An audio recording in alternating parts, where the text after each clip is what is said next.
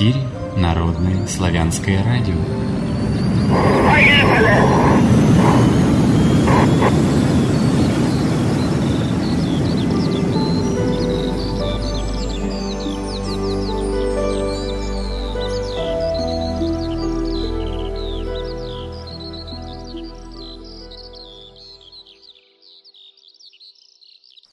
Всем здравия! С вами Народное славянское радио, Алексей Орлов. Сегодня мы начинаем, на мой взгляд, очень интересный эфир «Идеология будущего. Взгляд писателя-фантаста». Сегодня по одному из современных календарей на нашем радио 7 декабря 2016 года, среда, по одному из старинных, 37-й день месяца Нового года, 7525 лета, Осьмица. Авторы, соведущие, у нас сегодня их двое. Такунов Александр Владимирович, здравия. Здравия. И Захаров Николай Михайлович. Здравия. Здрасте. Прошу любить и жаловать. Для начала я попрошу представиться вас э, нашим радиослушателям и немножечко рассказать о себе, а потом будем уже переходить к теме нашего эфира. Ну, э, немножечко о себе, как Умов Александр Владимирович, писатель, фанках, исследователь конституционного права и Российской Федерации. Опубликовано у меня уже более девяти книг разного направления, шесть книг эко-фантастика, скажем, как и все остальное, это научные работы на тему конституционного права РФ, на тему э, европейского суда по человека и инквизиции. Вот. Фантастика у меня выходили книги в жанрах, скажем, как альтернативной истории, боевой фантастики, вот. И теперь мы с Николаем Захаровым пробуем для себя новый жанр киберпанк, в котором мы, к которому и можно отнести Смуку в Махове и проект Докторида. Вот, на текущий момент. Угу. Ссылка на смуту в Москве представлена у нас в анонсе, так что кто еще не знаком, можете войти, посмотреть и почитать. ну, позволю себе представиться. Меня зовут Николай Захаров. Я по образованию юрист. Мне 30 лет. Вот. Я скажу, что смута в Москве – это э, первый, мое, первый опыт моего литературного творчества. Эту... Это я сбрасываю вопросы, так что не удивляйтесь, мы да. потом к ним перейдем это книга, вот это первый опыт, литературный опыт в крупной, более или менее крупной форме, в форме повести. Ну, сфера моих научных интересов – это прежде всего, наверное, философия права, это история государства и права, прежде всего, государств ближневосточного региона, ну, России, разумеется, Европы также. Вот. Проект «Доктрина». Мы с Сашей занимаемся этим проектом около 6-7 лет. Вот, он рождался долго, достаточно мучительно, я бы сказал. да. Вот. Много бессонных ночей мы потратили на Точка Б, как мир, во-первых, выработать, во-вторых, сделать его насыщенным, правдоподобным. Вот. Э, слово сказать, первая повесть писалась э, три года. Ну, чуть поменьше, получается. Два, два года и где-то 10 месяцев, может быть, 9. Вот так. Вот. Но я надеюсь, что читателя, читатель сможет получить от прочтения этой книги определенное удовольствие. Хорошо. Э, ссылка, которая у нас, как я сказал, в анонсе указана, она ведет на сайт. Дальше на сайте есть текст, который совершенно бесплатно можно посмотреть, почитать. Но ведь любая книга хороша тем, что ее можно в руки взять. Вот у меня возникает такой вопрос, который, наверное, нашим радиослушателям будет интересен. А если захочется книгу почитать, где ее можно будет достать? Ну, если захочется книгу почитать, то первое место это наш магазин – Э, электронный как магазин по домену какунов.ком, вот. Там можно заказать печатную версию смука в Московии, вот, в мягком и твердом переплете. Вот, то есть, э, как бы мы печатаем эти книги напрямую, и, соответственно, цена ниже будет, э, приобрести книгу через посредников. Вот. Но с книжными сетями мы пока именно по докрине не договаривались, к сожалению. Вот. Но мы это планируем на будущее. Скажем, как вторая половина 17 года, я говорю, к тому моменту будут какие-то подвижки, и действительно повесть появится в магазинах. Вот. Mm-hmm. Пока только через наш интернет-магазин. Надеюсь, что мы сможем чем-то помочь в распространении информации о выходе книги, а может быть, еще чем-то другим поможем. Итак, переходим уже к самому вкусненькому, к самому сладенькому. В аннотации книги, я когда читал, э, вот начинается на следующее. 2111 год на фоне истощения запасов углеродов происходит локальный ядерный конфликт между Китаем и США – который ведет практически к полному уничтожению обеих держав и радикально меняет карту мира. И вот тут все и закручивается. А, для чего, нам такой вопрос, для чего современная фантастика, современные фантасты в своих произведениях используют вот такие акапалистические мотивы, что вот все до основания разрушилось, Потом мы из этого все вылезаем, и вот как-то так все и начинает развиваться. С какой целью такой формат принят? Ну, дело в том, что за других фантастов мне, наверное, отвечать сложно. А, я скажу, какую функцию это событие играет у нас. Я еще раз оговорюсь, что это, в общем-то, при том, что этот конфликт был масштабным, и он действительно привел к, ну, в мире доктрины, э, к разрушению целостности этих государств как политически, политика правовых образований, как суверенов на определенной территории. А, тем не менее, он не привел а, к тотальному или полному уничтожению всего человечества. Или и там обращению или возвращению человечества там, в состояние средневеко... в средневековье или там еще раньше. То есть, э, да, он нанес, он, грубо говоря, сокрушил так называемый новый мировой порядок. Но что такое новый мировой порядок? Новый мировой порядок – это порядок, который основан на доминировании а, евро, евроатлантического финансового, прежде всего финансового, ну и финансово-промышленного, скажем так, финансово-промышленных, транснациональных, финанс, э, финанс, э, транснациональных финансово-промышленных корпораций. Вот. Но прежде всего, конечно же, он э, основывается на транснациональном финансовом капитале, который сосредоточен в евроатлантическом регионе. Вот этот порядок, он был уничтожен в 2111 году. Так прозвучало, был уничтожен. Я, конечно, понимаю, что по некоторым данным, которые есть у меня, у нас нет будущего, нет прошлого, все протекает так как-то вот параллельно, и то, что мы сейчас говорим, вот сидя здесь, будет, оно где-то уже там случилось, и можно говорить, что оно произошло например, там, 2111 год.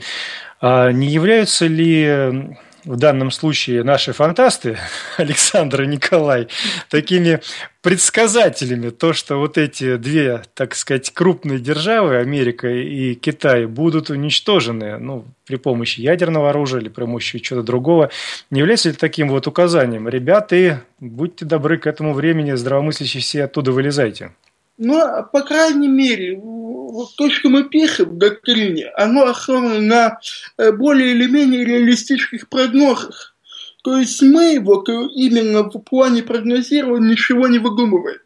Есть определенные тенденции, есть определенные подвижки, которые видны уже сегодня. Вот. И я бы, так весь проект доктрина, это есть одновременно и некий вариант э, поведения – как в этом мире как родиться и приумножиться, и некое предостережение. То есть, если вы какого развития событий не хотите, сделайте как-то себя лучше, иначе вы получите именно вот это, то есть то, о чем мы писали в докладе. Мы не хотели здесь абсолютно обидеть население Китая или население Америки, но как там в том числе режиссер и там соратник, один из соратников Оливера Стоуна, если я помню э, правильно имя этого режиссера фильма «Украина в огне», он сказал, что я патриот Америки, в интервью с Анатолием Шевием, он сказал, я патриот Америки, но не той Америки, но не той Америки, которая строит э, нынешняя американская элита. Угу. Не той элиты, которая навязывает, э, грубо говоря, зарабатывает на торговле наркотиками, оружием и так далее, и так далее. То есть нужно ну, различать между политикой элиты и политикой э, а, то есть и, и, и поведением да, народа. И, и, и позицией да, многих людей здравомыслящих в этих странах. Вот. Угу. Я так предполагаю, что все-таки радиослушатели уже у нас подкованы, понимают, о каком новом мировом порядке идет речь, понимают э, те слова, которые здесь произносятся. Но все-таки, если мы учитываем, что нас могут слушать и те люди, которые пока еще только-только начинают интересоваться всеми этими вопросами, наверное, им надо уточнить, а чем же насолила Америка и Китай? Что, чем плох этот мировой порядок? Зачем так э, вот его разрушать? Смысл какой? Ну, э, здесь главным образом в аннотации уже сказано, что явилось одним из оснований для э, конфликта. Это истощение мировых запасов углеводорода. Но углеводороды это, как вы понимаете, нефть и газ прежде всего. Вот. А, а что, что, э, почему это было настолько критичным через сто лет? Хотя, хотя, казалось бы, у нас есть еще сто лет, и мы можем разработать множество технологий альтернативной энергетики. Э, даже так вот, например, э, тот же термоядерный синтез на основе дейтериева, тритиевого топлива или совершенство технологий классического ядерного синтеза, да, закрытого – переработки, с, с системой переработки ядерных материалов и повторного их использования. Но э, мы, к сожалению, в последнее время наблюдаем, я лично наблюдаю, может быть, это мое субъективное мнение, мы наблюдаем процесс искусственного замедления прогресса. Связан он э, с, не с политическими, не с интеллектуальными причинами, а связан он с причинами и с интересами именно финансового промышленного капитала, которому э, выпускать новые прогрессивные технологии раньше, чем они могут продать предыдущие, невыгодно. То есть, грубо говоря, э, пример такой. Есть iPhone 5, мы его продаем – в этом году, ну, например, iPhone, iPhone 7, да, сейчас уже вышел, да, вот, э, мы продаем, там есть определенный набор э, технологий, который там реализован, там определенный э, процессор с определенной тактовой частотой, э, видеокарта, там он имеет определенные параметры толщины, э, да, там, э, и так далее. На самом деле у нас, например, у разработчика, у нас есть уже технология, которая позволяет в 5 раз увеличить мощность этого процессора в следующей модели. Но зачем нам это делать, если мы можем увеличить э, мощность процессора в полтора раза? Другие производители последуют за нами же, потому что они тоже не хотят терять прибыль. И мы будем те технологии, которые у нас есть, вместо того, чтобы реализовать их за там, один год, их массово распространять и пойти дальше, мы будем сидеть на месте, мы будем продавать то, что у нас уже есть в течение 10-20 лет. Самое интересное, если вы посмотрите на прогнозы развития суперкомпьютеров мировых, то э, мы, э, по-моему, к 2016 году по прогнозам должны были выйти на йотафлопсный уровень суперкомпьютеров. Вот. А мы сейчас находимся, если не ошибаюсь, компьютер Тяньхе, суперкомпьютер, да, который в Китае, у него э, сколько, 12 э, петафлопс у него? 12. Да, мощность, я могу ошибаться, да, но мы еще находимся на петафлопсном уровне, причем так, ну, а, еще сидим на нем, грубо говоря, очень плотно. А, ведутся некие разработки в Америке и в Европе, вот это криокомпьютера и так далее, и так далее. Но пока никаких практических результатов они не дали. Либо эти результаты не были, не, не, не были выпущены на рынок по каким-то причинам. Если это так, то, скорее всего, эти причины чисто экономические. Вот. Значит, То есть вполне возможно, где-то уже стоит э, супер мощный компьютер, о котором просто не говорят, на нем обкатываются технологии, а нам преподносятся какие-то уже устаревшие модели, чтобы мы все радовались и веселились, говорили, ух ты, какие мы продвинутые. Да, ну, да. безусловно, безусловно. То же самое происходит во всех других отраслях. Вот. Я не говорю о том, что значительная часть, э, значительная масса валюты, которая циркулирует, это ни для кого не секрет. В частности, американских долларов. Она ничем не обеспечена. Вот. И, для, и, грубо говоря, для того, чтобы она не превратилась в э, бумажки, стоимость которым, э, ну, я не знаю, копеечная стоимость, как у обычной бумаги, там, да, плотной. Для этого нужно поддерживать определенное экономическое равновесие, то, которое выгодно эмитенту этих бумаг, этих э, билетов банковских. И Китай здесь Китай здесь, он является своего рода соучастником данного процесса. Почему? В частности, потому что он является крупнейшим владельцем государственного долга Соединенных Штатов Америки. Вот. То есть это в определенном смысле две стороны одного януса, двуликого, скажем так. То есть э, Китай крупнейший производитель, но кто крупнейший потребитель в мире? Это Соединенные Штаты Америки. И без э, крупнейшего потребителя экономика Китая, я боюсь, что может рухнуть. И, и очень быстро. И не только экономика Китая, кстати сказать. Экономика Японии в том числе. Э, вот, что, в общем-то, и объясняет лояльность японского правительства, японского финансово-промышленного капитала Америки. Вот. Угу. Доктрина – это свой мир, насколько я понял из ваших слов, такой хорошо продуманный, где каждый, ну не могу сказать, каждый листочек на дереве продуман, но общая канва продумана, персонажи, действия. А для вас, как для авторов, это что? Это игра, это жизнь или это просто работа? Я бы сказал так, я, может быть, сейчас буду несколько пафосным, но я бы доктрину делом жизни. То есть это некий проект, при помощи которого мы хотели бы показать людям человечеству нечто важное, донести до них кое-какие мотивы, вот, чтобы, может быть, повлиять и благо, так, на умы, мы в доктрине и хлили то, что в нас накопилось многие долгие годы. Это и возмущение, и негодование, это и попытка приоткрыть некие сферы, которые от обычных людей скрыты, скажем так. Я вот просто еще дополню, если можно, краткий пример приведу, вот то, о чем мы говорили. А, еще один замечательный пример – это а, колонизация Луны, или ее не колонизация, точнее говоря, до сих пор. А, и также и не отправка до сих пор пилотируем экспедиции на ну Марс. Да. Все это в НАСА, это все обосновывается якобы огромной стоимостью этого проекта. Э, на самом деле есть документальные фильмы, которые были сняты сотрудниками НАСА, и причем бывшими, как и актуальными, которые говорят, что есть способ гораздо дешевле эту экспедицию реализовать. Но почему-то ни, ни у кого желания это делать нет. Потому что нету, видимо, экономической и политической воли, чтобы это делать. Вот и все.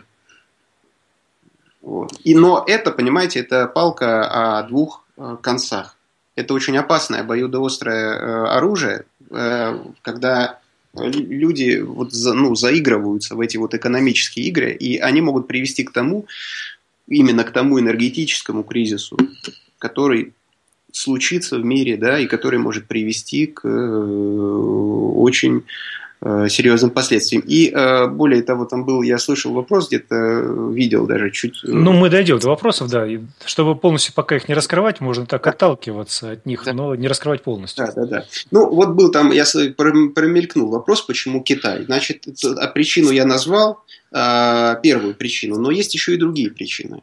Э, которые я не буду раскрывать, чтобы читателю было все-таки интересно читать. Они э, связаны, не связаны напрямую с политикой Китая как государством и политикой его элиты. Ну, во всяком случае, э, связаны с частью его элиты. Да? То есть это особая категория причин, которая не связана с тем, что я сказал. Вот. То есть мы это раскроем обязательно, но не сейчас, наверное чтобы mm-hmm. читателя какая, какой-то был интерес.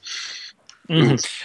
Здесь прозвучало, что это дело жизни, и что вот те предсказания, которые возможны, даются в книге, они могут заставить людей как-то задуматься о чем? О своей жизни, о том свинячьем положении, которое сейчас для людей находится. Но ведь, если так положа руку на сердце, Э, большинство людей это находится в таком состоянии не по собственному желанию, не потому что они такие поросята. Это вполне э, рождались нормальные, хорошие дети, воспитывались. Но воспитывала их система некая, воспитывала их какие-то установки, телевизор тот же самый и так далее и тому подобное. Может быть, надо как-то достучаться до тех, кто управляет всем этим, достучаться до тех, кто владеет голубыми экранами, средствами массовой информации, а это все-таки небожители во многом, состоятельные люди, которые получили свое состояние как раз на тех же самых принципах, из-за которых и начинается война в доктрине.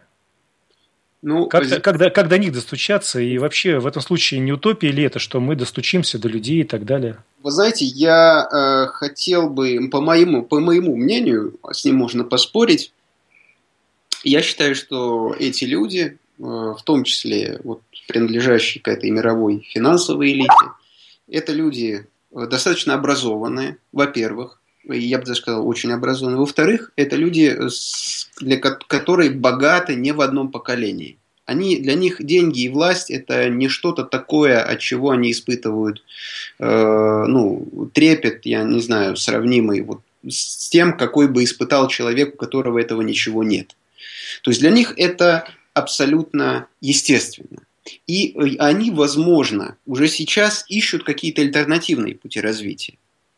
Но к сожалению, э, этих альтернативных путей, более или менее реалистичных моделей, да, которые можно было бы применить, э, на данный момент, ну, на самом деле, они начинают рождаться. Вот если мы вспомним э, так называемую исламскую экономику, вот то, ту инициативу, которая началась э, в Индонезии в 2000 году, которая была продолжена премьером Малайзии Махатиром Мухаммадом, который, то есть, э, значит, был целый комплекс мер к тому, чтобы уменьшить зависимость от э, вот этого кредитного пузыря мирового, да, и э, э, привести экономику в соответствие с какими-то реальными благами или реальной валютой. То есть вот введение золотого динара, золотой валюты, то есть возврат определенный к золотому стандарту.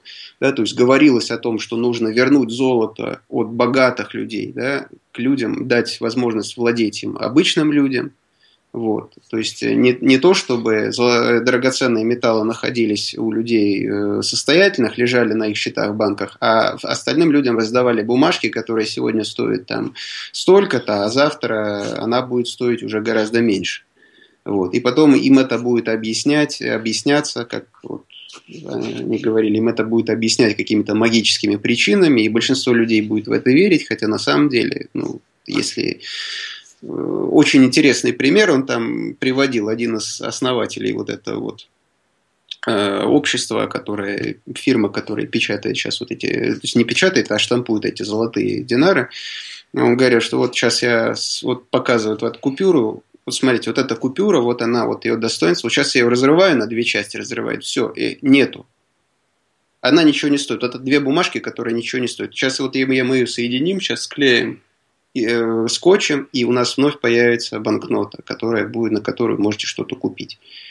Вот. То есть это вам не кажется это странным, как он говорит. Что э, некоторые инициативы уже в мире, они есть, они, э, значит, и если вы помните, то распространение и вот это вот достаточно быстрое включение там и Арабских Эмиратов в эту схему, там и Иран подключился, он вызвал некое, некую тревожность в МВФ, вот, в руководстве МВФ, вот, которая даже рассматривала возможность принятия мер, которые препятствовали бы оттоку золота в исламские страны принудительных мер, вот, которые бы э, препятствовали бы концентрации золота там.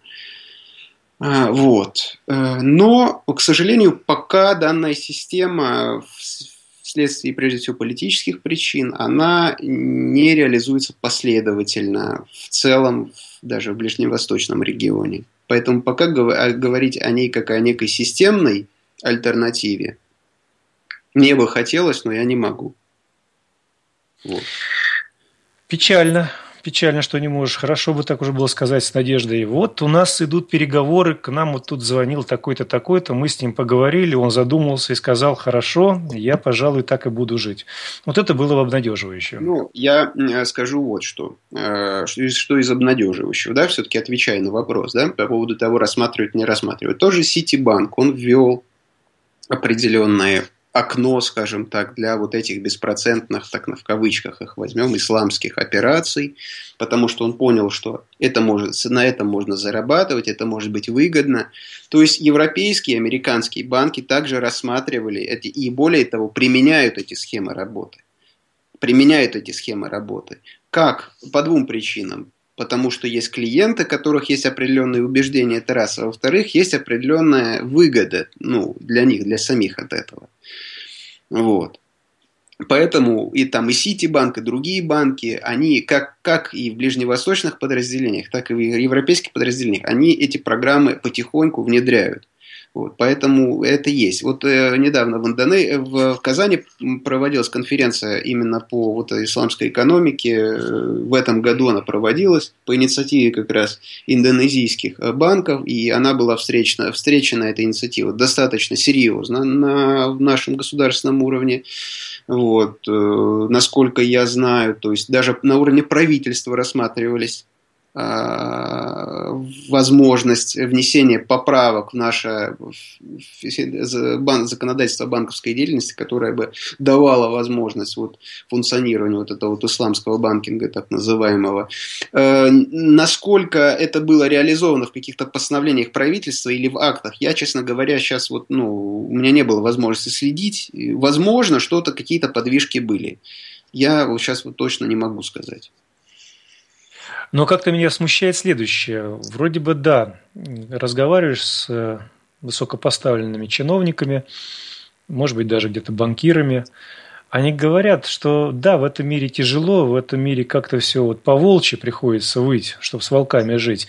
И хочется как-то иногда расслабиться для того, чтобы себя почувствовать человеком. Ну, приблизительно так, если не даваться в подробности. Но не можем это себе позволить. Съедят сразу – и вот эти технологии, которые здесь э, мы сейчас озвучиваем, они применяются ими не с точки зрения того, чтобы уйти от этой матричной, я имею в виду фильм «Матрица», системы порабощения человека, использования ее как батарейки для своих целей, а именно с точки зрения другой, стать более конкурентоспособным на этом рынке. То есть вот новое что-то захватить, но при этом, чтобы инициатива была, чтобы не упускать инициативу, чтобы быть впереди. Поэтому новые технологии они используют не для улучшения жизни, а для того, чтобы просто бороться за место под солнцем.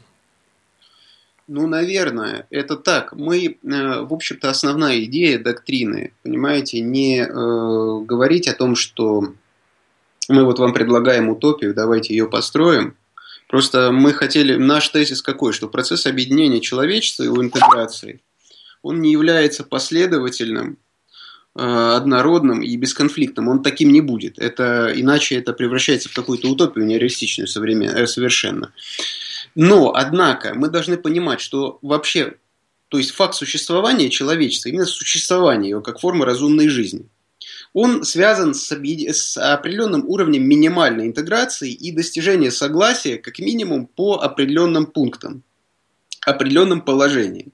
Вот, э, да, ключевым. В современной теории международных отношений и э, глобалистики, да, э, ну, есть вот такая сфера, это, по сути, научный э, раздел, связанный с теорией международных отношений. И в законодательных актах, в том числе ООН, и в конституционных актах некоторых э, государств, в том числе европейских, в частности Франции, э, значит, вот введен такой термин устойчивое развитие. Вот, вот это вот устойчивое развитие, значит, оно э, является, по сути, совокупностью минимально необходимых условий для существования человечества в будущем. Значит, сюда входит что?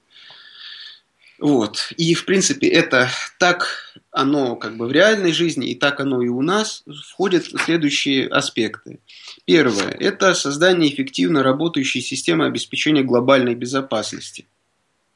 Вот. То есть, грубо говоря, это э, ну, механизм для, унич... для предотвращения возможности э, тотального э, уничтожения э, человечества им же самим в ходе военного конфликта. Второе, не менее важное на нынешнее, на сегодняшний день, это обеспечение благоприятной экологической среды. То есть э, тотальное загрязнение природы, оно приведет, в общем-то, оно может привести к гибели человечества как биологического вида. Это абсолютно очевидно сейчас. Вот. Ну, пока не для всех, но уже начинает доходить и вот до этих воротил, как вы понимаете. Потому что никакие деньги тебе будут не нужны, если ты э, будешь, э, так сказать, интегрируешься с землей. Вот. Или, как говорят французы, будешь есть одуванчики с корней. У них есть такая поговорка. Вот. Третий момент – это экономическая интеграция на минимальном возможном и минимально необходимом уровне. Вот. Это и четвертое – это введение минимальных мировых стандартов образования. Вот. В общем-то, я думаю, что я просто сейчас не буду зачитывать э, определение устойчивого развития из э, доклада Римского клуба. Наверное, это у нас немножко другой формат. Э, вот, потому что оно там более сложное. Вот. Его надо пояснять долго. Но, но смысл понятен, да. Да, смысл понятен. То есть это, в принципе, ничего такого, вот, что не было бы уже сформулировано, не было бы уже понято, мы не писали. Мы просто дали некую перспективу к тому, э, того, чего может привести, скажем так, э, своевременная нереализация этих принципов.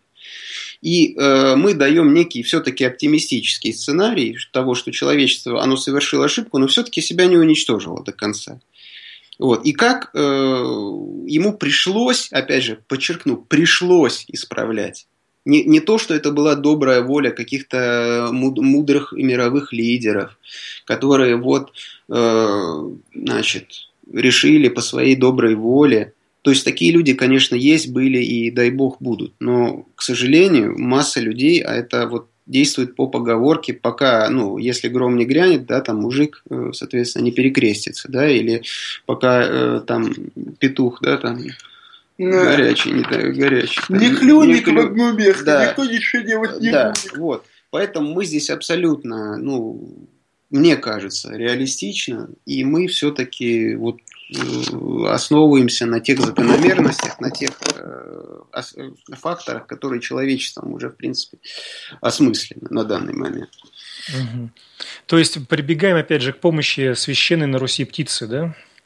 Жареного петуха. Да, да, да. Потому, что, а, значит, Без стимулирующего момента в виде локального ядерного конфликта, боюсь, что мировые лидеры долгое время были бы не способны ничего понять, что на самом деле творится. Ведь э, исчерпать эту планету, досуха все вычерпать, это весьма просто. Но не просто, так сказать, все восстановить. И мы, как бы, в истории человечества было много периодов, много моментов, где для того, чтобы что-то изменилось, нужен был колоссальный надлом, надрыв, скажем, как общественные изменения, катастрофы. и э, прежде всего, наверное, смена самой этой элиты, значительной ее части, по крайней мере. Да. Потому что люди, которые привыкли зарабатывать, извините, на торговле наркотиком, торговле оружием и торговле людьми, вот, они как бы, ну, понятно, что это очень прибыльно.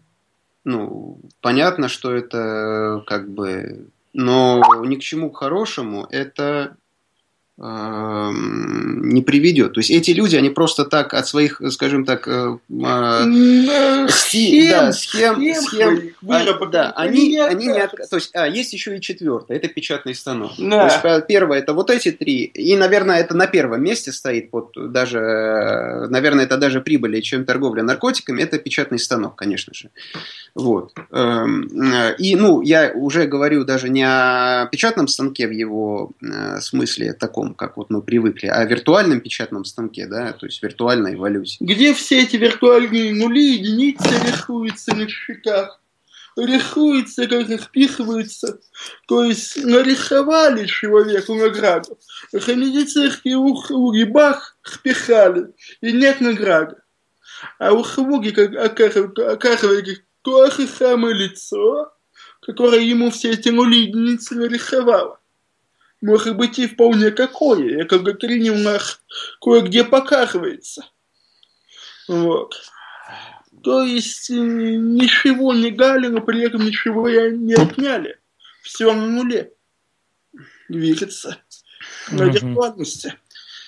Я э, и тут вот дальше я э, хотел бы перейти, в общем-то, к основной теме нашего сегодняшней беседы. То есть мы уже... Да, слушаю. Хорошо, я хочу просто, вот, если уж мы заговорили про то, кто когда чего понимает, вот у индийцев есть такое высказывание, мудрость.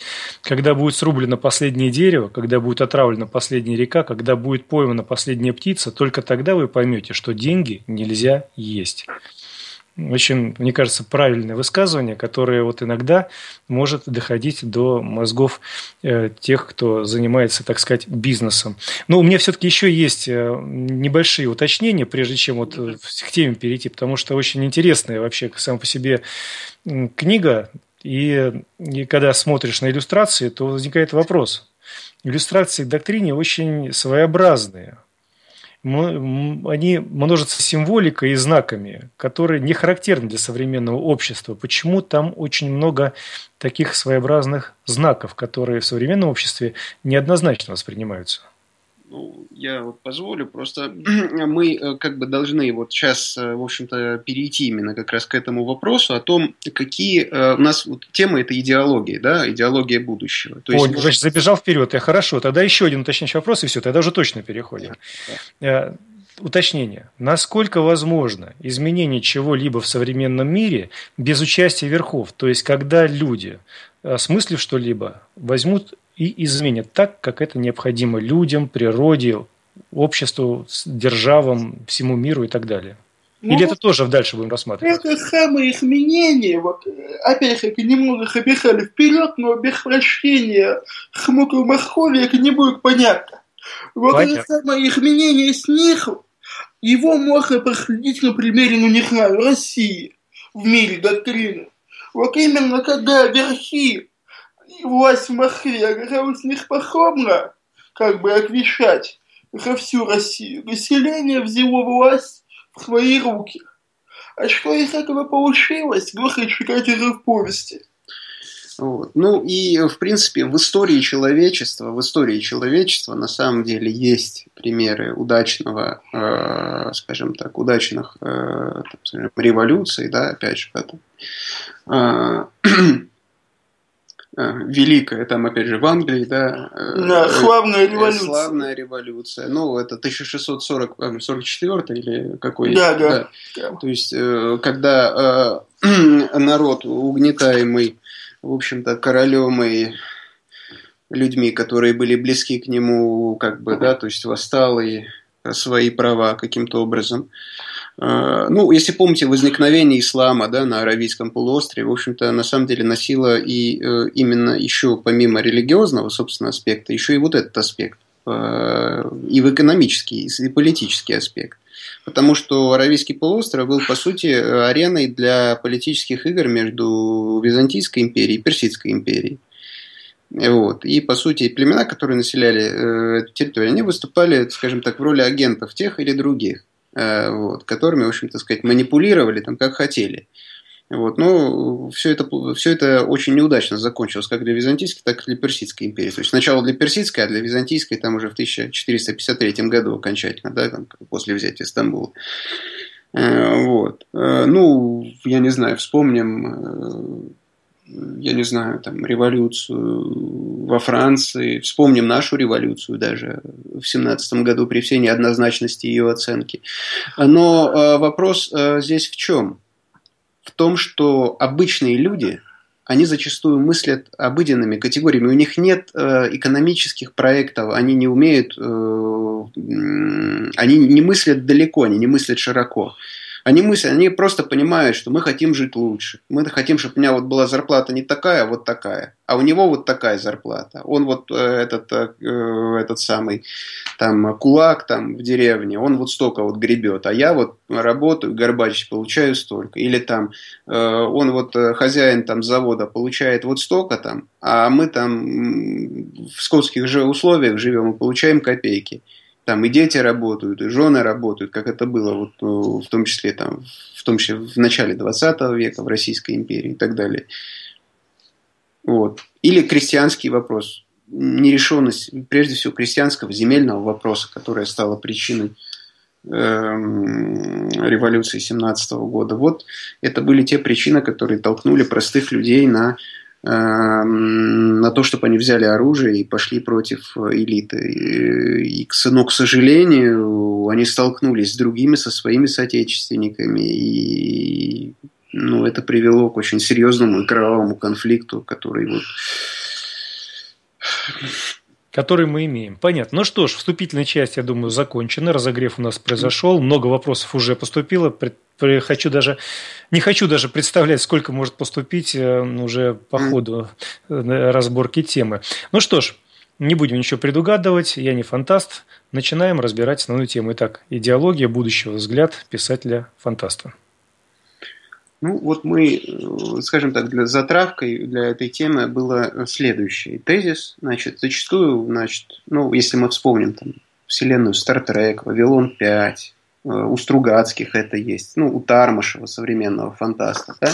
То есть зачастую вот человечество будущего признается нам, э, то есть нам демонстрируется как некое вот единое сообщество с единой культурой, порой даже с единым языком, вот. А как образовалось это сообщество? Да? То есть, вот, э, это мы опять же возвращаемся к тому, э, о чем мы, на чем мы остановились. Вот те принципы да, устойчивого развития. Как их реализовать, на основе каких идеологий, в частности, вот э, то, то это отвечая на ваш же вопрос предыдущий, какие идеи, какие идеологии могут мотивировать людей на то, чтобы они вот начали сами что-то вкладывать, при, прилагать какие-то усилия для того, чтобы эти принципы в мире значит, реализовались. Вот. И, наверное, э, главное, и не зря проект был назван «Доктрина». Он не зря был назван «Доктрина», потому что э, именно вопросам идеологии, вопросам идеи э, здесь уделяется основное внимание. И будет уделяться основное внимание. Потому что, как говорится, джентльмены спорят об идее, да, а простолюдины, да, они спор обсуждают э, там по людей. Но, ну, да. да. Вот. Здесь именно значит, касается вопроса идей, их интерпретации, а, как людьми, так и не людьми, то есть инопланетными э, формами жизни разумными. Э, которые взаимодействуют с людьми, имеют на Земле определенные интересы, в том числе и политические, экономические интересы, и находятся здесь достаточно э, длительное время, и которые имеют свой взгляд на историю человечества и на цели человечества, и которые, в общем-то, имеют возможность делиться, которые имеют своих сторонников из числа людей. Э, вот.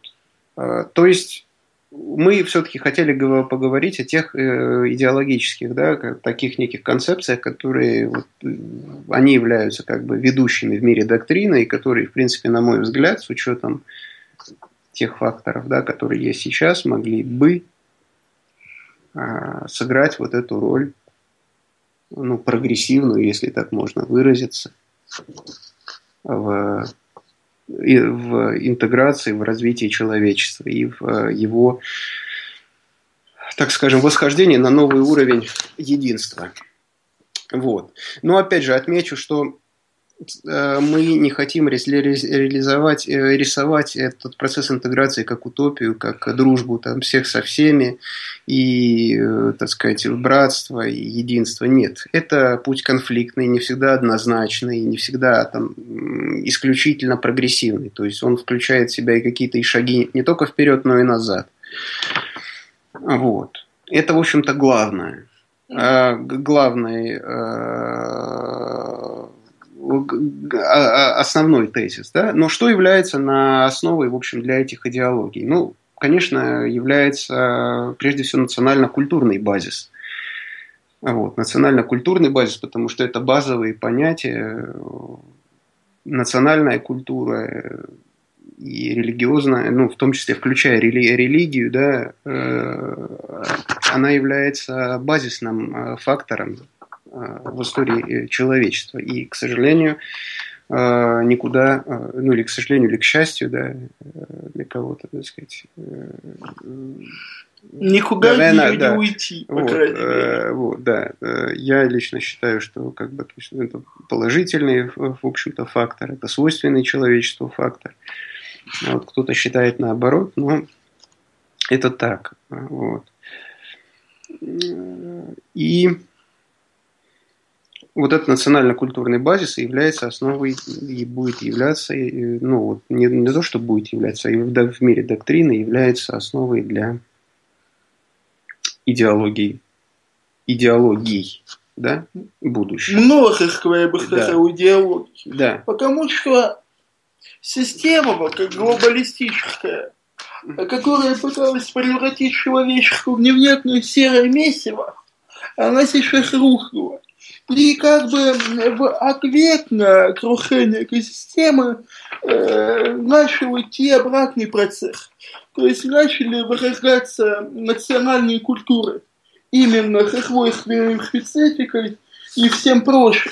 В частности, в мире доктрины очень ярко себя проявляют, ну, например, традиционные культуры дохристианские в Европе, то есть Германия, Франция, там... Э, Скорее, наверное, Северной Европы государства. Ну, да. в том числе да. и Северной Европы, Скандинавии тоже. И м, проявляются эти культуры в России. Э, давайте я тогда э, перечислю, да, вот те, грубо говоря, идеологические направления, да, которые являются ключевыми в мире доктрины.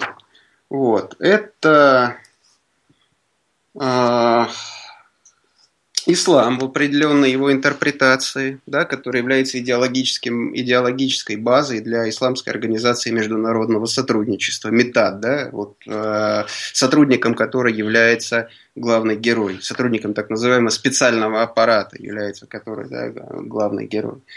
Вот. Эм, я подчеркиваю, что это ислам в определенной интерпретации, потому что интерпретации э, как и правового, ну, тех э, норм исламской этики, которые имеют правовой характер, так и неправовой характер, их существует достаточно много, и э, сторонники различных позиций, они зачастую относятся друг к другу враждебно, иногда крайне враждебно, и в общем, мы это можем видеть. Э, в данном, э, в нынешней истории. Но вот э, организация именно но опять же я скажу так, что уже в нынешнем, там, если говорить об исламе, в нынешнем исламе уже заложены очень серьезные предпосылки для объединения. Более того, были приняты международные документы, которые Э, в которых установлены идеологические, методологические, именно теологические и методологические э, основания для такого религиозного единства. Вот. Это прежде всего Аманская декларация. Те, кто интересуется, они знают, от 2001 года, если не ошибаюсь, она была подписана как э, представителями четырех крупнейших суннитских школ, ну, я их не буду перечислять, потому что, чтобы не, не, не углубляться сильно, а представителями шиитских, э, прежде всего крупнейшего шиитского масхаба, это имамитский так называемый масхаб, это вот в Иране, да, в Ираке, который, э, то есть, который там 90, наверное, 80-90% шиитов, которому принадлежат. А, это заидитский масхаб, так называемый, в Йемене, да, который вот тоже относится к шиизму, и бадийский так называемый масхаб, это отдельная школа Э, исламской этики и права, она преобладает в Омане. Вот. То есть, по сути, большинство исламских ученых, в том числе, кстати говоря, и саудитов, да, они под этими принципами единства они подписались. То есть идеологические и теологические препятствия к единению, они, в принципе, достаточно, достаточно давно устранены. И современные проблемы исламского мира, они прежде всего связаны с э, политическими и экономическими э, интересами, да, и с, и с исторически, э, и с историческим, э, национально, э, этноконфессиональным разделением. Вот. Значит, э, дальше э, перечислю. И, конечно же, важнейший э, является неотрадиционализм, так называемый. Это прежде всего, как уже отметил Саша, э, значит, э, это в том числе неоиндуизм, э, вот, который, в принципе, уже в то время будет лишен, скорее всего, кастовых предрассудков, предрассудков национальных. И такие школы в индуизме уже есть, мощные школы, очень Санатана Дхарма, если я не ошибаюсь, еще другие есть, которые в Европе как бы имеют своих последователей, как, как именно из коренных индусов, так и из числа европейцев. А, это и неошактизм, да, неокришнаизм. А, ну, кришнаизм вообще является крупнейшей составляющей, да, крупнейшей частью индуизма. Да? Не тот кришнаизм Прабхупада, я имею в виду, а традиционный кришнаизм. А, хотя тот тоже как бы имеет право на существование. Вот, ну, вот. Дальше это культы до христианской Европы в Германии, как уже Саша сказал. А, именно вот с ними как раз связано появление вот этой символики, которые вы видели, да, то есть э, этой символика, в принципе, она свойственна для многих народов индоарийской ну, индоарийской культуры, которая имеет к ним какое-то, ну, к ней, да. или даже имели к ней какое-то отношение, как в иранской культуре, в, так и в индийской, особенно в индийской культуре, даже в культуре э, монголоидных некоторых народов, да, которые восприняли буддизм как религию, монголы, ну, например. Монголы, могу еще сказать о народах севера, как них сейчас называют, коренных малочисленных, тоже распространены хвостичка и символы. Вот, это, вот эта символика, она как бы, ну, она весьма распространена, и поэтому ее трактовок очень много, очень много и привязывать ее, ну, к, если говорить о России, да, и ассоциировать ее с, с режимом э, правления Адольфа Гитлера и национал-социалистической э, рабочей партии Германии, ну, не всегда правильно. Э, вот. Это традиционные культы народов э, э, прежде всего Южной Америки. А, вот. Э, прежде всего Южной, потому да. что Северной Америки коренное население практически выбили, истребили. Да, а, вот. То есть это культура крупных племен, неокультура, я бы даже сказал, реконструированная, возрожденная культура там, ацтеков, майя, инков. Да, э, вот, то есть это крупные культурные сообщества, ну, которые как бы э, они все объединяются в понятием неотрадиционализм, потому что они, как бы, в отличие от современного мира, они между собой как бы находят общий язык. И вот э, идеология такая, что у каждого народа, у, каждой, у каждого народа есть свои боги, и, э, своя культура, и вот они им э, и как бы поклоняются. То есть э, они, с одной стороны, отрицают как бы такой идеологический глобализм, с другой стороны, они являются э, этим они являются все-таки явлением достаточно новым, потому что ну, такой... Я бы так сказал, что они объединены на почве почитания родных богов и предков. Вот. Потому что мотив э, богов и предков он является ключевым для многих именно традиционных культур. Вот. В ореоле неотрадиционализма, если говорить о России в мире доктрины, Э, вращается беловодье, шархи клавина, некоторые анклавы Союза вольных городов Сибири. Вот. То есть, эм, скажем так, и вот этот вот э, неотрадиционализм как течение, он пытается консолидировать, находить некие общие точки соприкосновения для того, чтобы иметь возможность влиять на то, что происходит в мире, и как консолидировать самообщих началах, скажем так. Потому что МИКАК в мире доктрины – это одна из ключевых организаций, вот. И многие, даже в самой международной организации пытаются сделать какой-то иной вектор развития, противопоставить что-либо, дать альтернативу. Ведь, как известно, если у нас все в мире только одного цвета будет, то мы не сможем отличать благое от ужасного, добро от зла, скажем так. Вот. И поэтому мир доктрины, он многоцветен.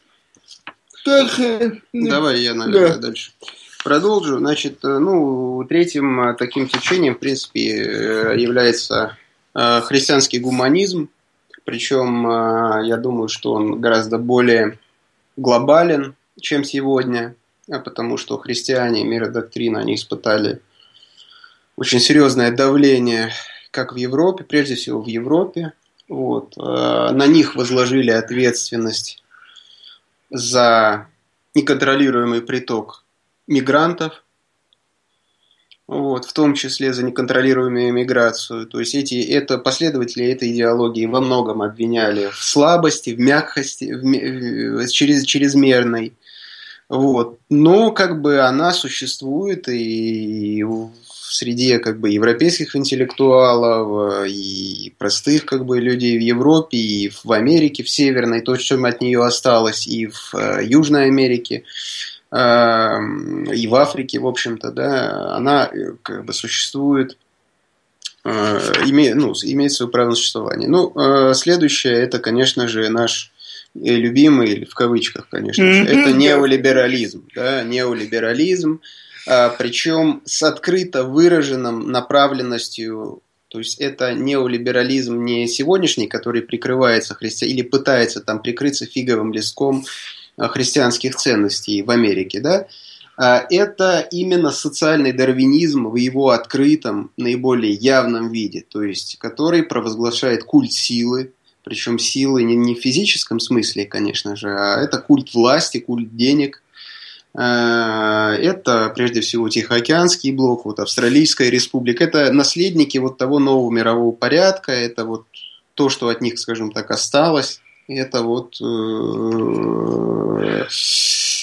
э, то есть там, где корпоративный кодекс подменяет для человека Библию, Коран и там все остальное, то есть для него там его босс это Бог в корпорации, да, то есть его слово это закон, Божий, да, а, вот, так что где люди с малолетнего учатся э, подчиняться и смотреть вот на вершину вот этой пирамиды, вот, снизу, то есть э, вверх, и э, мечтать там о том, что он когда-то перешагнет на какую-то, может быть, перешагнет на какую-то ее там э, ступеньку, да, вот, и как ответом вот в этом, э, в общем-то, атеистическом обществе, да, как ответом на эту жесткую, и я бы даже сказал, э, не побоялся такого слова, людоедскую идеологию, является, в общем-то, единственно, наверное, приемлемым для э, людей, которые ну, воспитаны в атеистической культуре по большей мере, это идея коммунизма и социализма. Вот. То есть это идеи, которые они противопоставляют вот этому людоедскому порядку транснациональных корпораций, который стремится, так сказать, и эксплуатировать э, все, что у этих людей есть, включая их органы, ткани, их сознание, их э, потомство, их репродуктивный ресурс. Э, вот, то есть э, вот, вот этот коммунизм, это как вот идеи социализма, идеи равенства, э, в их э, скорее азиатской интерпретации, в интерпретации в маоистской и северокорейской, скажем так, где-то, я бы даже сказал, интерпретации, то есть в китайско-корейской интерпретации, в таком нек- некой смесь, смеси. Вот, то есть э, вот идея коммунизма. Ну вот это, пожалуй, мы э, обозначили такие главные идеологические направления, которые у нас вот мы которые получили да. наибольшее развитие в мире, да, да. скажем так. Да. Вот. Но, может быть, будут какие-то вопросы, уточнения. Вопро... Вопросы уже есть. Мы можем к вопросам переходить. Просто если тема раскрыта, тогда мы переходим да, к вопросам. Общем, если еще не раскрыта, тогда нет, давайте ну, дальше. Нет, в общем, тема раскрыта, как бы мы готовы выслушать э, вопросы, и, наверное, потому что мы уже и так говорим почти час, наверное, людям уже хочется услышать ответы. Хорошо, напоминаю всем нашим радиослушателям, что вопросы в эфир вы можете задать в чате Народного славянского радио. Для этого необходимо вам в любом поисковике набрать «Народное славянское радио». После этого вы окажетесь на сайте slavmir.org, пока еще такой адрес, ничего не менялось. И далее найти слово «чат». Когда вы нашли слово «чат», нажимаете, у вас появляется форма входа или регистрации. Выбираете, если вы еще не зарегистрированы, придумываете себе логин, пароль, нажимаете на регистрацию, указываете простой e-mail, и вы уже становитесь полноценным пользователем чата, общаетесь с друзьями, задаете вопросы в живой эфир. Если же вы уже зарегистрированы, то логин, пароль вводите, ну и все. И как всегда. Один раз это делается в том чате, как сейчас это есть, пока еще сайт новый не запущен, поэтому ничего придумывать пока не надо. Итак, первый вопрос поступил от Эдгар. Вопрос эфир. Что именно понимается под нынешним, нынешней идеологией? Насколько я понимаю, она отсутствует сейчас в нашем государстве. Потому следующий вопрос. Что трансформировать и во что? Ну, э, на самом деле, отсутствие идеологии. Мы сейчас не говорили о России непосредственно. Вот, мы говорили о той идеологии, Э, которая, скажем так, ну не могу сказать навязывается, а можно в принципе и сказать навязывается, да, финансово-промышленными элитами и подконтрольными медиа, а, вот, под, которые в киноискусстве, в, в печати, там, гля, э, гламурные глянцевые журналы – и так далее, и так далее. То есть э, то, э, те концепции, идеалы, то есть это э, культ денег, культ власти, вот. Это культ создания у человека иллюзии, что он может все, что только вот ему нужно, вот станет он богатым, станет он это, и он, он, он как бы себе хозяин-барин, он никакие там ограничения моральные и нравственные ему, в общем-то, не нужны, он, у него там Э, ну, вот если э, вспомнить там Сартра, да, его модель, что, что человек, он э, может все и отвечает за все. Но у Сартра это немножко было в другой э, интерпретации, а здесь это повернуто вот, вот таким образом, каким я сказал. Э, вот. Э, поэтому отсутствие государственной идеологии в России на самом деле, да, ну, по большей части, да, это тоже на самом деле наличие определенной идеологии. Хотя Владимир Владимирович говорил, что у нас идеология является патриотизм. Вот, я не до конца понял, что это значит. А, вот. К сожалению, я вынужден констатировать, что у нас концепции идеологической нет, ее пытаются создать на основе там, идей Гумилева или там, евразийских, а, на основе ли, я не знаю, идей Зиновьева, да, там философа позднесоветского, диссидента, да, то есть есть очень серьезные дискуссионные площадки, в том числе при там, агентстве э, России сегодня, где эти вопросы обсуждаются. Но вынужден констатировать, да, что пока, к сожалению, у нас этой идеологии нет, а коли ее нет, мы относимся так или иначе в том или ином ключе, в том или ином процентном соотношении, мы как бы на больше, значительная часть нашего населения, она вот обращена в сторону вот этих идеологем, которые вот западный мир. Какое кино мы смотрим в большинстве своем, э, в чего производства, мы смотрим в кинотеатрах? Вы ответьте себе сами на этот вопрос. И кто нам делает компьютерные игры, да, там, да, э, кто задает алгоритмы работы наших СМИ, на кого ориентируются наши СМИ, да, ну, эти вопросы, мне кажется, очевидными, поэтому, в принципе, здесь все понятно. Поэтому что, что у нас сейчас, это вот, это вот это, то, о чем я сказал. А на что менять, ну, это вопрос, наверное, мне нужно будет, не знаю, сколько часов потратить, чтобы анализировать конкретные да, альтернативы конкретные. Да, мы все-таки говорим сейчас о мире доктрины, о фантастике. Если мы переходим на реальность, здесь все гораздо сложнее, и здесь э, все гораздо, здесь гораздо больше, альтер, ну, больше альтернатив, и это все нужно серьезнее, гораздо более серьезно обсуждать.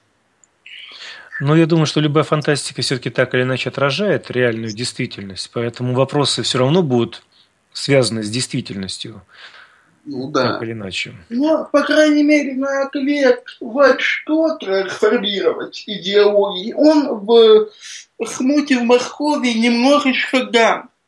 Э, скажем, как более освещен будет в других произведениях. То ну, есть... Я вам могу сказать так, вот э, говорите, во что, да, вот мы просто назвали те ценности, да, которые э, государство, по нашему мнению, должно э, продвигать в обществе э, под тем и в той или иной интерпретации, мы уже говорили, да, чтобы вот прийти к этому устойчивому развитию. Если мы к нему не придем, мы э, перестанем, с большой вероятностью перестанем существовать как разумная форма жизни. Вот. Вот вопрос. Здесь э, не стоит вопрос в том, что нам будет жить хуже или лучше. Мы там, у нас доллар будет э, по 60, по 90 или по 30 или по 120. Вот. Здесь стоит вопрос гораздо более радикально. Вот. Просто вопрос, сколько у нас есть времени, ну, я не знаю. Но вот как бы идеология, вот она, она, в общем-то, изложена.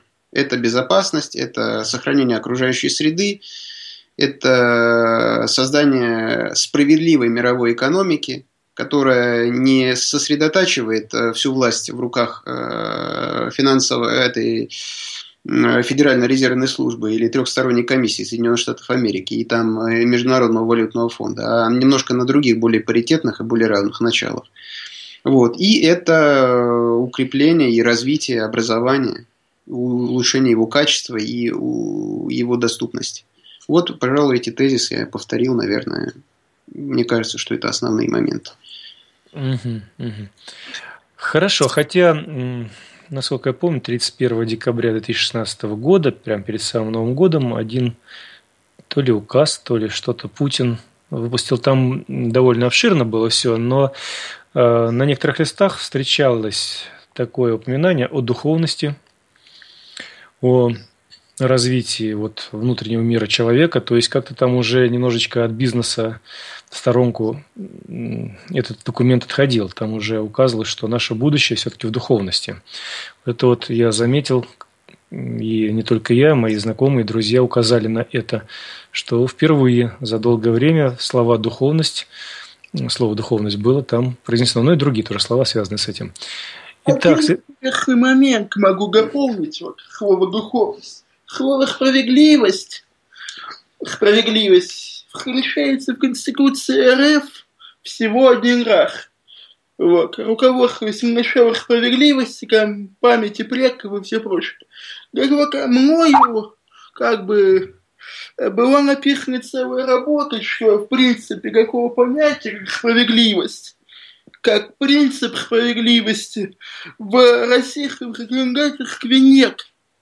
То есть э, у нас, как получается, что о принципах человеческого общежития, человеческого бытия в законах, как говорит, не принято. Но в итоге, как бы, мы получаем каких-то бездуховных серых лиц, для которых основной движущей силой в мире являются деньги. То есть мне кажется, что ключ э, к э, именно развитию в человеке духовности, каких-то высоких моральных качеств и принципов, это саморазвитие, самообразование. Вот. И система не способна человеку приложить ничего толкового в этом плане. Человек должен сам искать пути, а не полагать своих других. В данном случае на систему образования и всего прочего. Вот. Хорошо, следующий вопрос от Владимира Измытищ. Вчера в чате радио кратко обсуждали тему сериалов. Я не согласен с тем, что сериалы несут вред. С моей точки зрения, бывают сериалы программирующие, моделирующие и прочее. Если рассматривать моделирующие фантастические сериалы, я считаю, что самый заслуживающий внимания – это германо-канадский сериал 1997 года выпуска под названием «Лекс». На протяжении 61 серии в нем смоделированы различные тупиковые идеологические ситуации в разных обществе, обществах, возникающие в процессе путешествия героев сериалов по вселенной. Местами, конечно, несколько наивно смоделированы. Тому, кто посмотрел сериал, на много лет хватит проработанных авторами социальных моделей. Вы смотрели этот сериал? И еще вопрос. Умные сериалы вообще бывают или все сериалы для, в кавычках, э, дна общества? Ага. К сожалению, я, например, такого Александр данный сериал не смотрел. Мне его рекомендовали, но у меня как и не появилась возможность с ним ознакомиться. Ты смотрел, Коль? Да, я смотрел этот сериал. Э, он э, скажем так, по-моему, он балансирует на грани серьезности и такого черного юмора, потому что там, если даже в начало э, смотришь, где описывается вот эта диктатура на Земле, да, э, это гигантский червь там, который э, значит, который там потом планета начинает уничтожать, да, и который там умирает, погибает совершенно странной достаточно смертью, погибает, вот. То есть, ну, он такой полуюмористический, в принципе, но, э, как говорится, в любой э, шутке есть доля шутки, что называется. Да? На самом деле там есть достаточно глубокие мотивы, э, я соглашусь с, вот, с нашим слушателем, к таким сериалам, вот, которые действительно очень серьезную смысловую нагрузку и, прежде всего, фантастическим сериалом, я бы отнес «Вавилон 5», я думаю, что многие его смотрели. Вот. Э, многие смотрели какие-то сезоны отдельно, кто-то смотрел полностью, да, потому что сериал, по-моему, он, по-моему, сколько сезонов, то ли 9 сезонов, то ли... 9, по-моему. Да, э, вот. Плюс там еще были дополнения, э, полнометражные фильмы было снято, по-моему, 2 или 3 точно не вспомню. Но это сериал. Далее, второй, это Стартрек, да, Звездный путь. Это тоже очень серьезная, на самом деле, картина, которая поднимается определенные вопросы и концептуально продуманная, я бы сказал. Вот. Ну, главным образом, вот мне приходят два эти сериала. Вот. Главным образом приходит... А, ну, был еще сериал «Эхо взвод», если вспомнить. Он, его показывали как детский сериал мультсериал, да, если кто помнит, 90-е годы показывали по телевизору. Но на самом деле там поднимаются э, отнюдь не детские проблемы. Хотя он такой, как бы в роли такого космического боевика сделал, но там э, зачастую как бы очень серьезная драматическая э, проблематика поднимается. Весьма и весьма интересная не только э, подросткам, но и, в принципе, взрослым людям. Вот. Ну, вот так. Я не знаю, ну, по поводу сериала «Призрак в, дос... «Призрак в доспехах» я его не смотрел, я смотрел только полно... полнометражки Мамора Ойси, который был, который был, собственно, э, режиссировал непосредственно там две части, если не ошибаюсь. Вот. Ну, в принципе, это, это сериалом не назовешь, да, но это тоже там вот аниме, да, очень, ну, очень серьезного уровня, очень, очень серьезного как бы проблематика там поднимается, и в частности вопрос о взаимодействия человека и машины, и человеческого сознания, искусственного интеллекта и прочее, прочее, прочее. Вот. Ну, вот так, наверное, из сериалов, наверное, я больше ну, не вспомню. Вот. Может быть, что-то еще придет на ум, но вот. Я сейчас просто не вспомню. Ответ понятен. Я просто хочу, Владимир Измутич, от себя ответить. Если мы берем вообще понятие сериал, то вообще ничего плохого, ничего хорошего в этом нет. Сериал на сериал. Если же мы рассматриваем общее количество сериалов и выбираем из этого общего количества сериалов, которые каждый день по несколько сериалов идут по всем телевизионным каналам, за исключением, может быть, новостных, хотя новости – это самый главный сериал, бесконечный, вот, то в этом случае названные три ну, два или там пять сериалов за все время – это такая ничтожная капля, которая, на мой взгляд, практически ни на что не влияет в нашем обществе, потому что дети, бабушки – домохозяйки и просто уставшие от работы люди, пришедшие домой, смотрящие сериалы, в перемешку с ток-шоу, они ничего хорошего не получают для себя. Они получают разбавление мозговой деятельности в самую худшую сторону, в сторону ухода от действительности, входа или ахов, охов, какой-нибудь там Осисяй, l'amour, toujours, bonjour, и все, на этом все заканчивается. Или какая-то там бесконечная свистопляска с погонями типа ментов или чего-нибудь еще аналогичного, где толком для человека ничего хорошего не происходит. Создается ощущение какой-то сказочности, не более того. Поэтому я не согласен, что сериалы полезные. Если бы сериалов было, скажем так, какое-то большое количество полезных, ну хотя бы так э, не 5, а там, 25 можно было бы вспомнить, но тогда еще можно было бы о чем-то говорить. Да, есть проходящие, а есть вот такие хорошие. Но пока мы видим, что приходит два, но то три, то иностранного производства. Ну, прошу прощения, я просто, мы говорили именно о научно-фантастических сериалах, я просто не стал намеренно употреблять, э, у, а, не употреблять, прошу прощения, а упоминать э, наши сериалы, да, именно которые касаются, если мы вспомним, например, досье детектива Дубровского или, например, э, бандитский Петербург, в принципе, да, то там-то проблематика, ну, тоже весьма и весьма. И надо сказать, что сами эти фильмы, для меня, по крайней мере, я, ну, они достаточно тяжелые, потому что там, э, в общем-то, показывается то, та реальность, в которой как бы, мы вот провели детство, эти бесконечные убийства каждодневные, да, там э, эти разборки, эти э, постоянный дележ там, да, и передележ но там э, много, ну, там есть серьезная драматургия, в принципе. Или, например, вот э, ментовские, э, или там ментовские, там, как правильно, войны, да, вот этот сериал. Э, по, по, там, в принципе, ну, конечно, там есть определенные киношные приемы, где, которые не соответствуют действительности, но, в принципе, там, э, особенно в первом сезоне, там много чего действительно интересного можно найти. Вот. Ну, вот от себя малость. Тут скорее оно переходе к разговору о федеральном телевидении. Мы с Николаем я на протяжении многих лет э, не смотрим телевизор. Мы, как чтобы похвалили себя, мы просто выбираем как. Либо их купленными, блядь, медиатеки свои, либо смотрим онлайн. Именно фишка целенаправленные вещи, которые с нашей точки зрения могут нам сказать, как нас обогатить. Вот.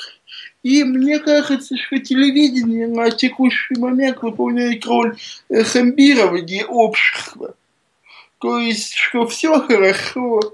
Вот мы ваш сериал «О любви» расслабим, а потом новостями, например, о Сирии или о Гамбасе немножечко возбудим вас, правик гнев, на шоу пусть говорят, вы гнев выпустите, а потом мы что-нибудь вам успокоительное поставим.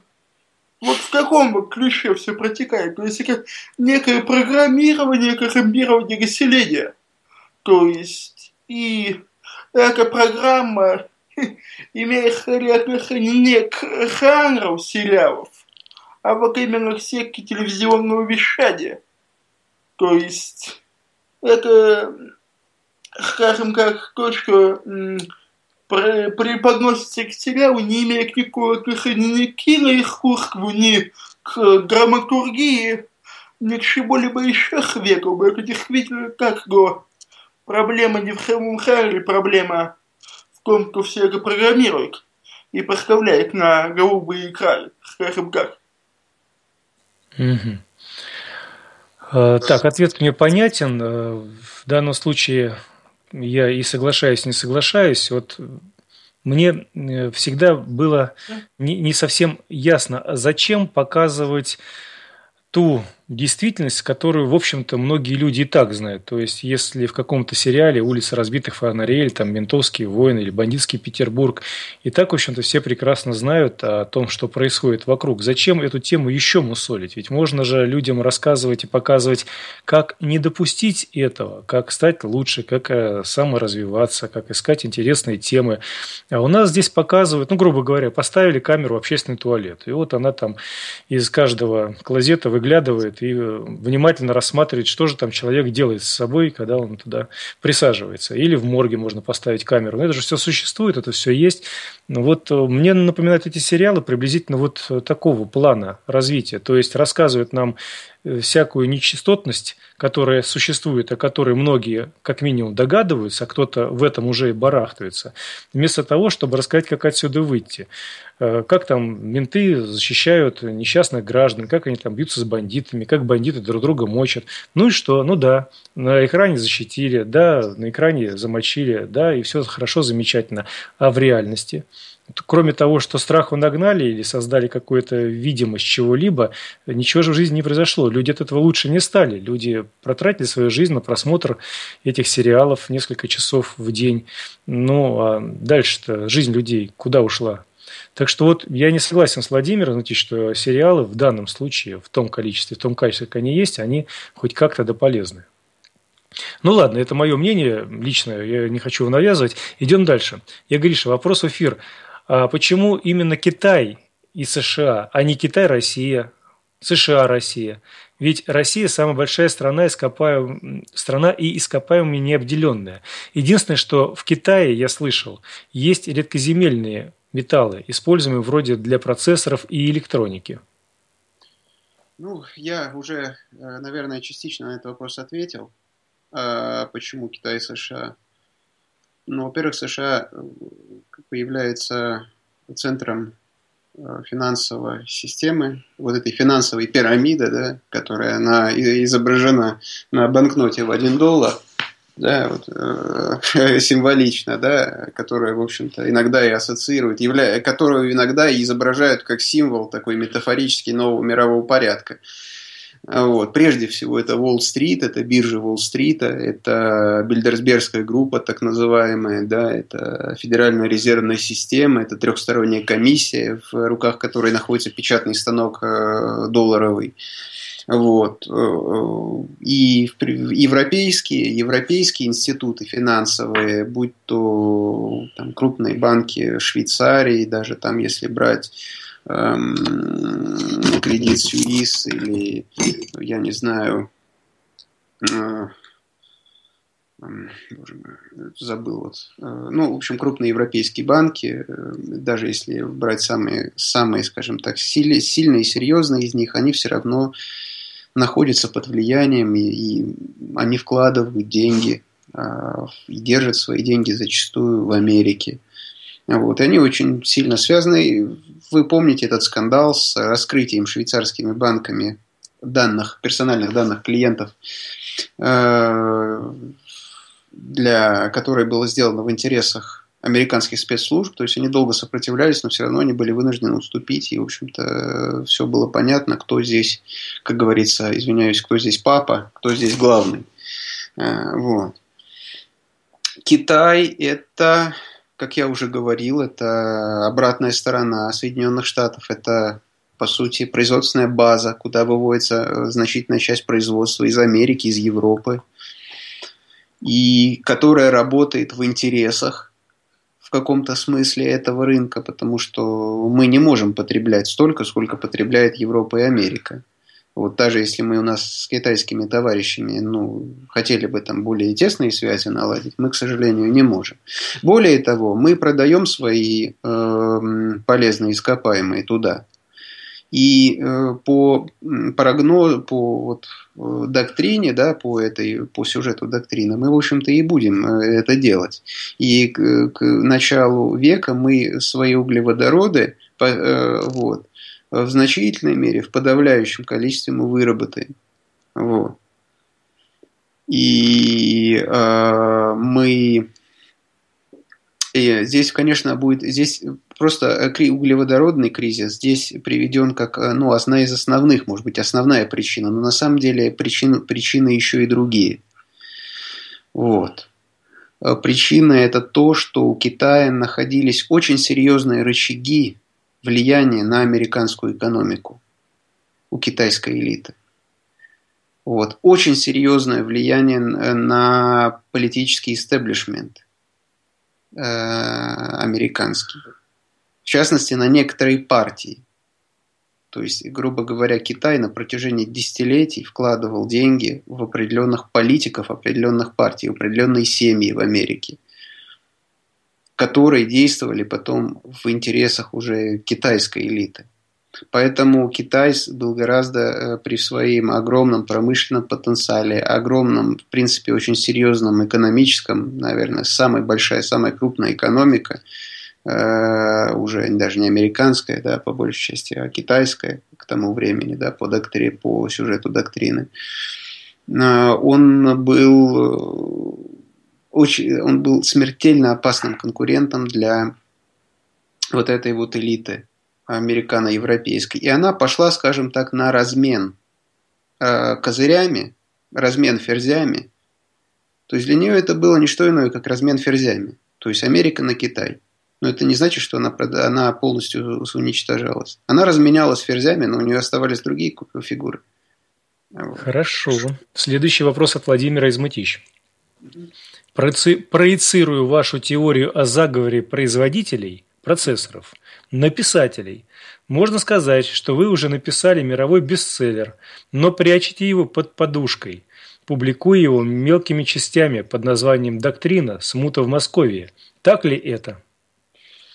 Ну, э, я могу так сказать, что чтобы воплотить те идеи, которые э, были нами уже сформулированы в той или иной мере, и воплотить их интересно, все-таки художественная книга это не технология, да, то есть если бы у нас, например, там лежала заготовленная рукопись следующей книги Смута, да, вот уже вычитанная, mm. заготовленная, лежала бы там уже там три года назад, mm. и мы вот только сейчас опубликовали вот для коммерческого эффекта, а, и потом бы через какое-то время, подождав, пока продажи достигнут максимума, собрав, скажем так, все сливки, мы бы угу. от, значит, отправили бы в печать новую книгу, то тогда бы, наверное, э, гипотеза нашего уважаемого слушателя была бы справедливой.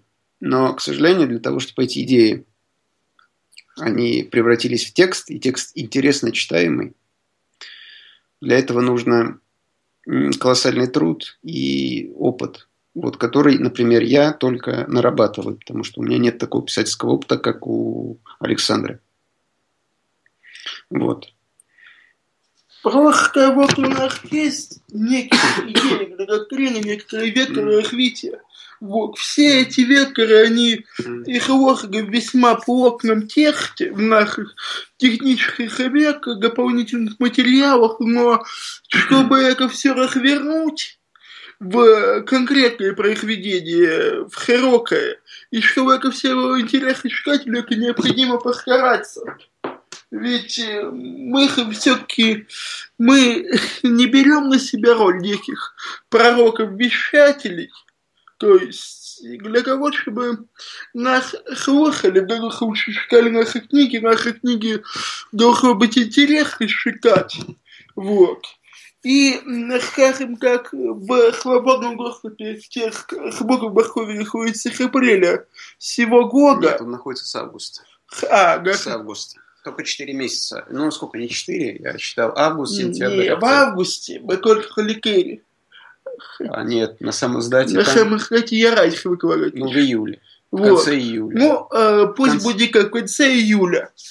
Мы начали это все выкладывать в свободный доступ. И мы получили некие отзывы от читателей. В частности, многих напрягло количество сроков в книге примечаний. И уже исходя из этого, обратного ответа обязан читать, прямого случая, доктрина – это проект не для всех. Это какой проект, который нужно читать, но как для человека работать мозгами нужно уметь анализировать. И тот, кто прочел доктрину именно Махових насколько за один-два вечера, он просто ничего не поймет. Э, то есть у него все перебегается в голове имена должности. И это, э, я бы сказал, книги доктрины, вот именно этого проекта, книги для тех, кто умеет и хочет думать Поэтому легкий путь доктрины ее продвижения не будет, как я полагаю. Ну, наверное, я с Сашей соглашусь, потому что действительно, как бы я ни хотел сделать текст более читабельным или более легко читаемым, скажем так, у меня я как бы ну, достиг определенного предела, на который я перейти не могу, чтобы не пожертвовать э, содержательным содержанием. А, но, тем не менее, как бы получая критические замечания и рецензии от наших читателей, мы, я стараюсь э, свои, делать какую-то свою, составлять свою типологию ошибок, каких-то своих э, недочетов, того, чего я, возможно, не учел при написании. И чтобы вот кстати, это к вопросу, от, да, вот к ответу на предыдущий вопрос также, э, чтобы следующее произведение было, не было повторением предыдущего с другими героями и с другим сюжетом, чтобы оно было более ярким, более четко изложенным, чтобы в нем была более четко поставлена проблематика и более четко изложен ответ на нее, четко, логично и в то же время э, удобоваримо для читателя, чтобы не загружать его чрезмерно какой-то информации, которая к основному сюжету, возможно, и не имеет отношения. Вот. Хорошо, идем дальше. Вопрос эфир от Антона. Крепкого здравия. Нахожусь в процессе прочтения книг Сергея Сергеевича Тормашева, серия «Древний». Что скажете о таком развитии событий? Благодарю. Ну, скажем так, я да и Николай тоже книги Сергея Шикали. Вот, с Сергеем мы находимся в хороших отношениях. То есть, э, я скажу как, чем, допустим, отличается доктрина от э, миров Сергея. Сергей, он все-таки и по жизни, и как писатель, он человек оптимистичный. Вот. И он дает нам некий какой оптимистичный стишки, сценарий человеческого все-таки, несмотря ни на что, станет лучше, сможет там развиваться так или иначе. Вот. А мы их даем, ну, не то чтобы пессимистический сценарий, мы его даем скорее более реалистичный, скажем так. Потому что э, вот чаще всего писатели фантасты разные классиков, современников дают нам некую утопию. А то, каким образом мы к этой утопии пришли и вообще каким путем могли ли мы к ней прийти, оказывается, берег века. И мы вот в школе поняли, что имея биологический материал на его современном состоянии, то есть современное человечество с его пороками, с его добродетелями, мы не сможем создать некое идеальное общество, которое было бы непогрешимо, которое было бы идеально во всем. Вот. Ну, потому что, ну, я скажу так, э, просто скажу свое субъективное мнение. Я читал книги Сергея Сергеевича, и я скажу так, что древний это ну, не очень любимый мною цикл по субъективным причинам, не буду сейчас э, называть по каким, но я считаю, что у него есть очень достойные книги, э, которые я бы отметил цикл книг «Ареал» и, конечно же, «Наследие». Конечно же, «Наследие». Вот я считаю, что особенно «Наследие» это должны прочитать все. Это очень серьезная книга с серьезным научным материалом, который там изложено. К сожалению, один из э, ученых, который материал этот давал, э, он уже умер, насколько да, я знаю. Да, Александр Сергеевич Барагов да. нас покинул. Да, вот. Но это очень серьезная книга с очень серьезной проблематикой касаемо генно-модифицированных организмов и их э, использования. И я думаю, что э, это каждому стоит почитать и, по крайней мере, задуматься, задуматься над э, этой проблематикой. Вот. Ответ ясен. Идем дальше. Вопрос от Владимира. А начнут ли вылезать технологии, если 14 числа повысит ставку ФРС банки странам перестанут давать? С 1 января в России вступает закон об упрощенном изъятии частной собственности. Людям в будущем дорога на даче, а после того, как их отберут, пойдут в леса. И как нам выживать надо будет. Глобалисты хоть и ослабевают, но нас выдав... выдавить постараются все же. Вот такой вопрос Владимира. Ну, это скорее, наверное, комментарий его, да, ну, что я могу сказать, глобалисты, он, кто, ну, кто, кто такие глобалисты, понимаете, тут вопрос такой, я уже говорил, что даже эти люди, которых там, их не стоит считать абсолютным злом, они также ищут альтернативные сценарии, просто вопрос тому, чтобы мы, кто-то их мог артикулировать, и показать их эффективность. А для того, чтобы их показать их эффективность, нужно мобилизовать большое количество людей на определенные идеологии. Почему, например, исламская экономика начала, функционировать? Американцы смеялись над этим, когда первые исламские банки. Они смеялись, они говорили, что это вы вот это придурь саудовских шейхов, которые там вот увидели нефтедоллары в первый раз в жизни, которые там с верблюдов слезли. А сколько смеху было там в 70-х годах. Э, а в итоге-то оказалось, что эта модель работает. Причем работает неплохо. Вот как бы и при, при том, что она работает при жесточайшем сопротивлении, на самом деле, традиционной банковской системы. Вот. Все равно работает, понимаете. Люди там используют для расчетов наличные деньги, вот, так называемый вот это авала, хавала, хавала, вот эта система э, безналичных, э, то есть этих переводов с использованием наличности. Вот. Поэтому как бы, ну, сложно говорить, вот, что кто такие глобалисты. То есть мы должны создать какую-то, дать какую-то идею людям, которая подвигнет их э, жить э, по-другому. Понимаете? То есть вот вы вот говорили о том, что человек приходит, и... а почему он приходит и включает телевизор? Он ведь может его не включать. Если ему хочется, книгу, ему хочется, да, например, э, ну ладно, книгу тяжело, но он может, например, открыть интернет и посмотреть и выбрать тот фильм, который ему понравится. Он может не заливать свою голову, не сделать свою голову помойкой для те телеканалов, которые пытаются заработать на рекламе, а смотреть то, что ему нравится. Правильно? Ну, вот как вариант. Это тоже некая, ну, хотя бы минимальный уровень сознательности и, если угодно, сопротивление вот этой системе. Ну, вот.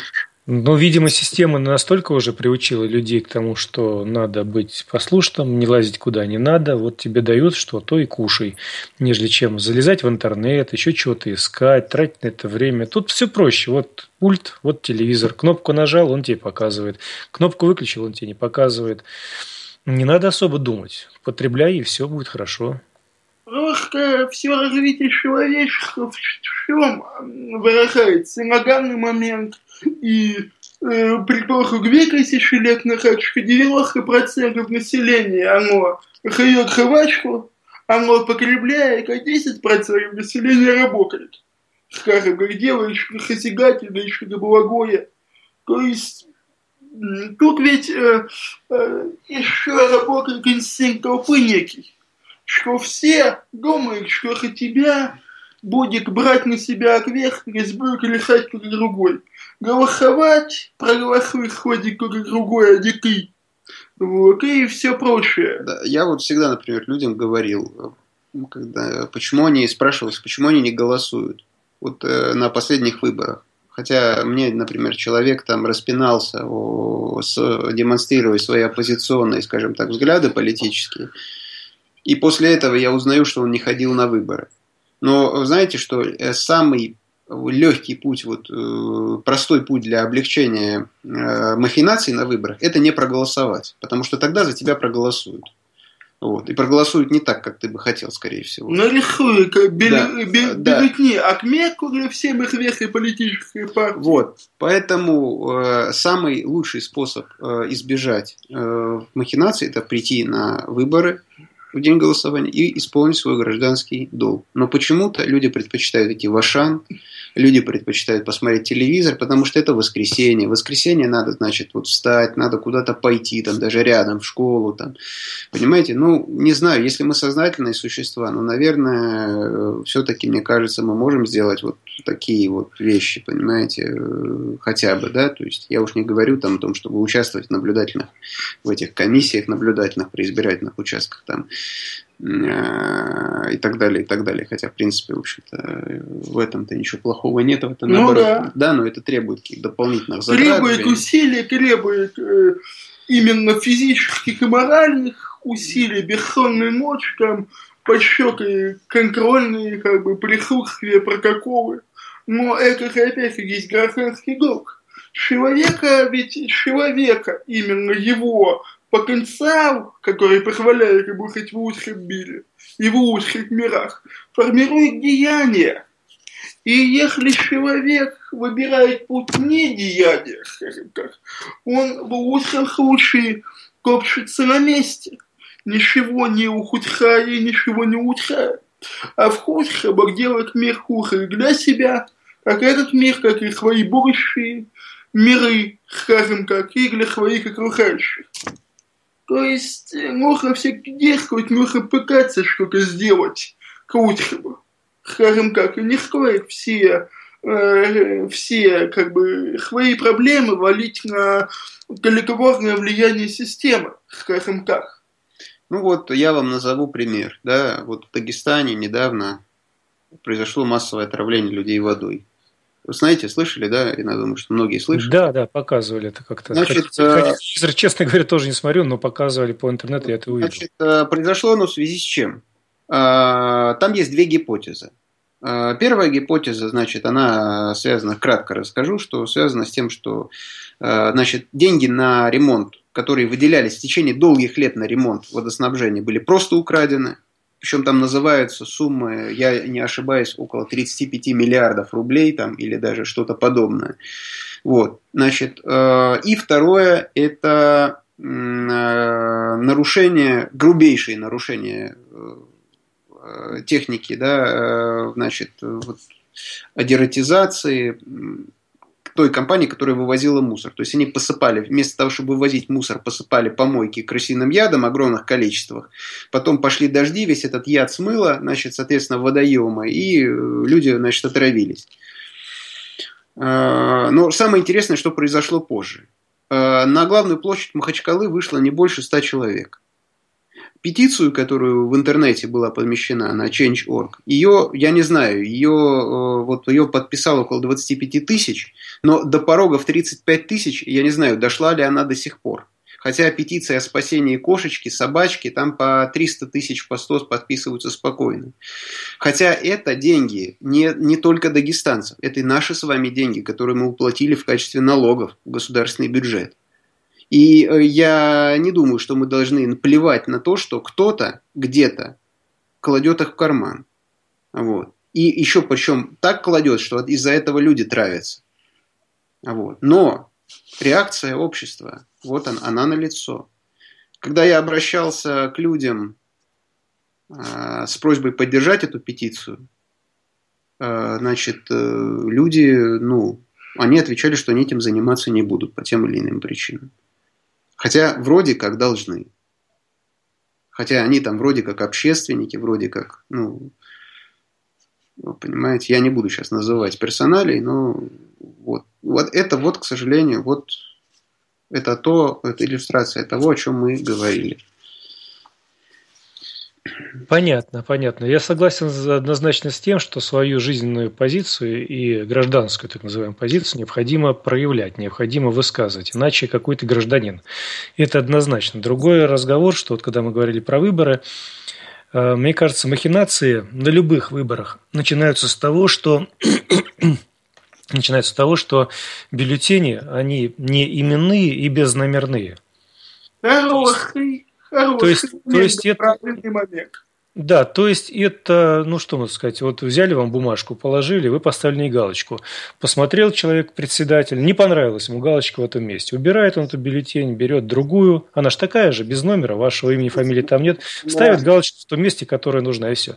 Если бы мы брали, например, как у нас это происходило в древности, как это по нашим, по конам должно быть, то в этом случае вот такого варианта, такого безобразия эм, не могло бы просто быть, потому что так называемые анонимные выборы – это, в общем-то, не наш метод жизни, не наш метод управления и не наш э, метод назначения. А в данном случае, если мы во всем мире демократическом видим, что вот именно так все и происходит, то в этом случае первые самые махинации начинаются именно не с того, что люди не пришли на эти выборы, а именно с того, как устроены эти выборы. На мой взгляд, если бы я был устроителем выборов. И хотел бы честности, я бы сказал, каждый бюллетень должен быть номерной, в него должно вписываться фамилия, имя, отчество. Дубликат бюллетеня должен находиться у самого человека, который пришел на выборы голосовать, а второй дубликат должен направляться в некий банк независимый, который собирал бы эти дубликаты. И, в общем-то, в случае каких-то проблем, они поднимались бы в независимом банке. И все становилось бы в свои места. А если бы и к банку возникли вопросы, то всегда можно позвонить человеку и спросить, уважаемый, а ты вот галочку за кого ставил? За Кузькина или за Пупкина? За Пупкина, отлично. А почему-то галочка за Кузькина? Давайте разбираться с теми, кто является председателем той избирательной комиссии, где это могло произойти. Вот тогда уже махинации исключались бы в этом направлении, и народ, я думаю, наш народ, у которого в крови честные выборы заложены, он бы смотрел на выборы несколько по-другому. И пришествие людей на выборные участки в разы бы увеличилось. Это мое субъективное личное мнение. Понятно. Если комментариев нет, идем дальше. Ну, давайте. Да, да. Вопросы, а то мы сейчас политику ходим. Да, вопросы от Олега из Иркутска. Здравия ведущим. Идеология будущего – это чипизация и маргинализация населения. Уже сейчас внедряются чипы прослушки слежения в телефоны УТГ. Да, и в России с 1 января будет введена единая электронная единый электронный паспорт, а далее, возможно, и в автомобильной системе ЭРА ГЛОНАСС. И многие граждане это поддерживают и не понимают сути происходящего. В данный момент времени есть распространенное мнение, мнение в славянском мире, что все, что происходит в мире, это уроки, нужно делать вывод и постараться просыпаться, что система только навязывает свою волю, но выбор за тобой. Но в истории человечества еще, по-моему, не было случая, чтобы паразиты добровольно ушли и строй сам собой без потрясений и революции ушел в небытие. Буду, э, будут закручивать гайки до последнего вздоха свободы и воли человечества. Как думаете, Александр Николаевич, ждут ли Россию и остальной мир потрясения, недовольства людей глобализмом, зомбированием и другим искусственным деструктивным процессом в ближайшее время, так как сама Матушка Земля уже проявляет недовольство, ураганы, наводнения и так далее. Сменяются эпохи, эра лисы сменяется эрой волка, меняются вселенские вибрации, тьма уходит, грядет свет. Благодарю. Ну, что я хотел бы сказать по этой теме? Многие, конечно, наиболее радикальные круги, их именно равноверческих общин и иных, как говорится, течений. Православных.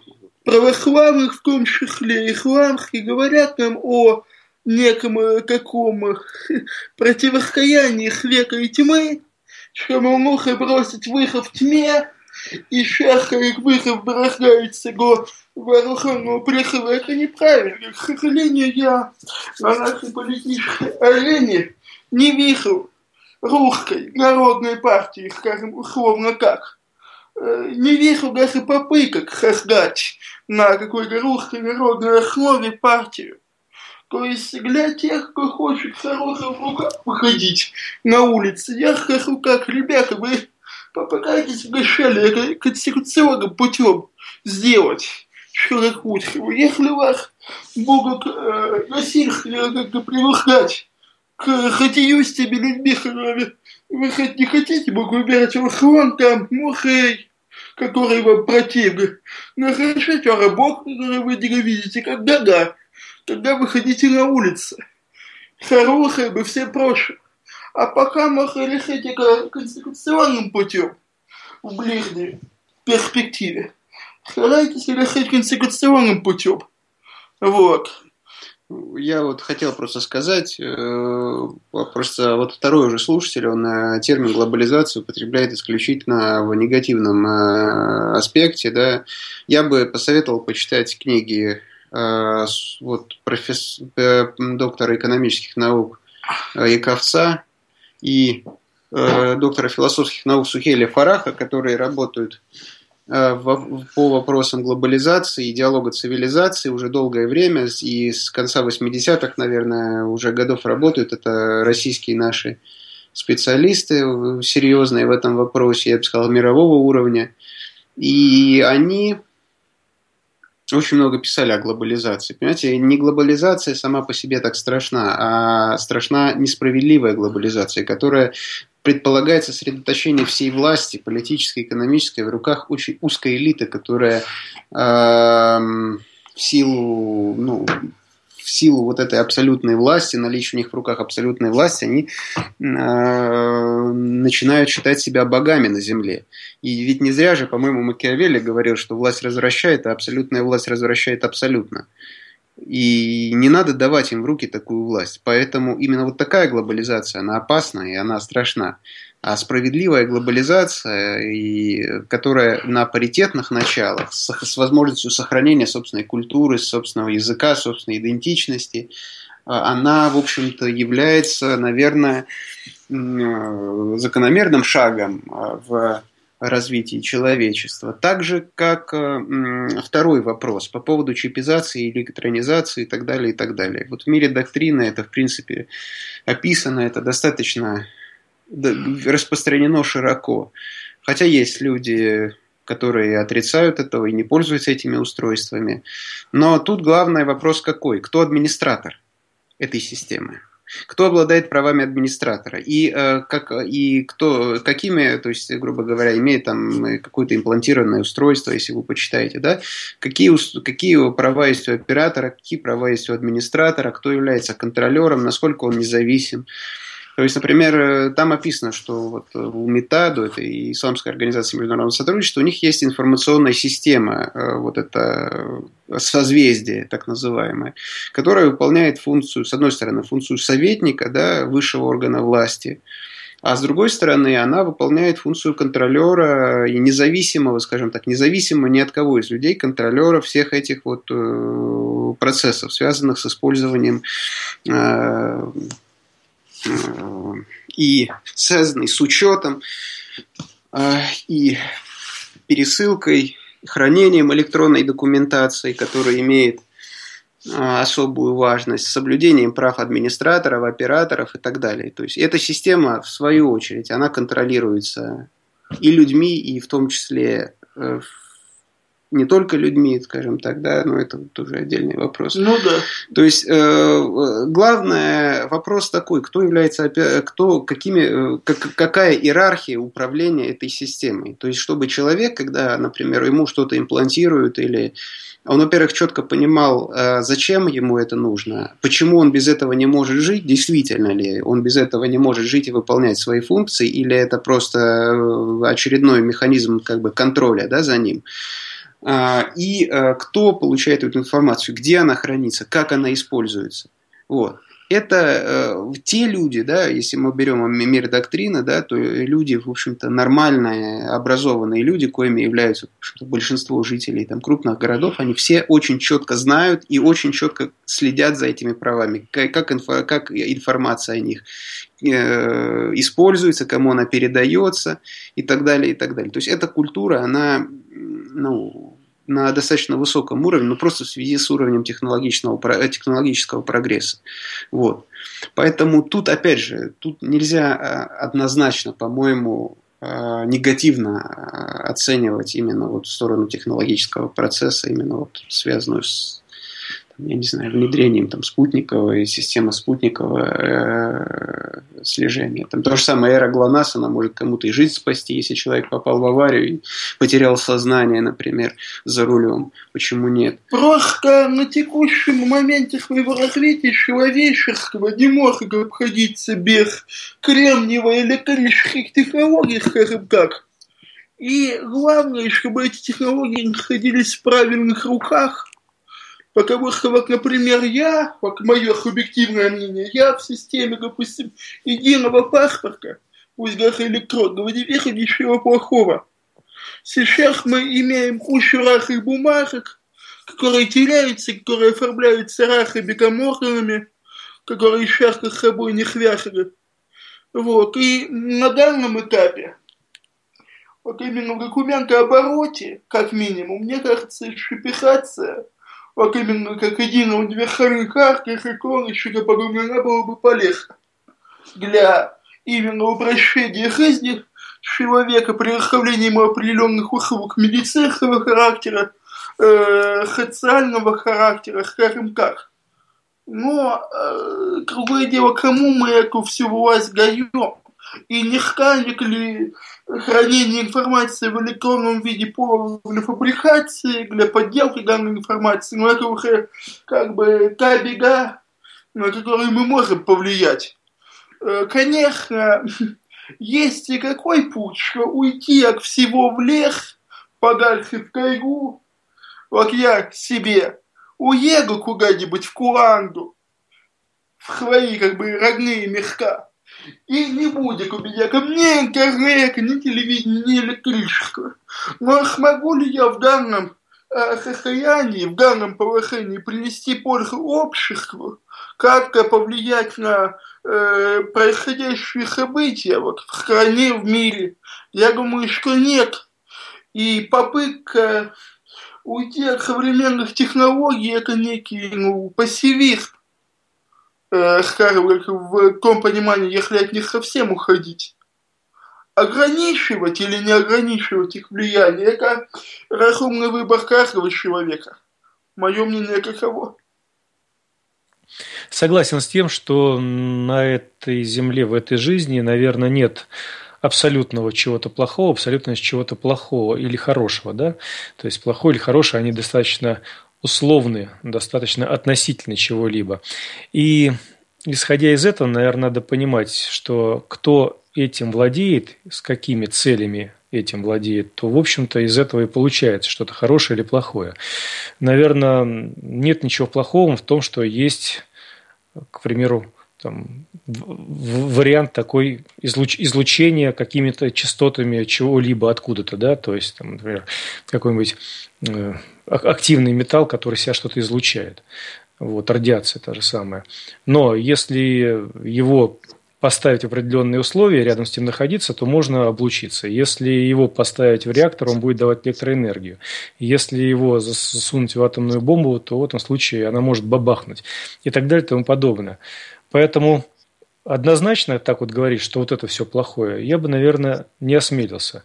Но я думаю, что наши радиослушатели, те, которые второй раз уже упоминают глобализацию не с лучшей стороны, они, наверное, и имеют то в виду, что на сегодняшний момент так называемые глобализаторы – это как раз те люди, которые относятся к элите.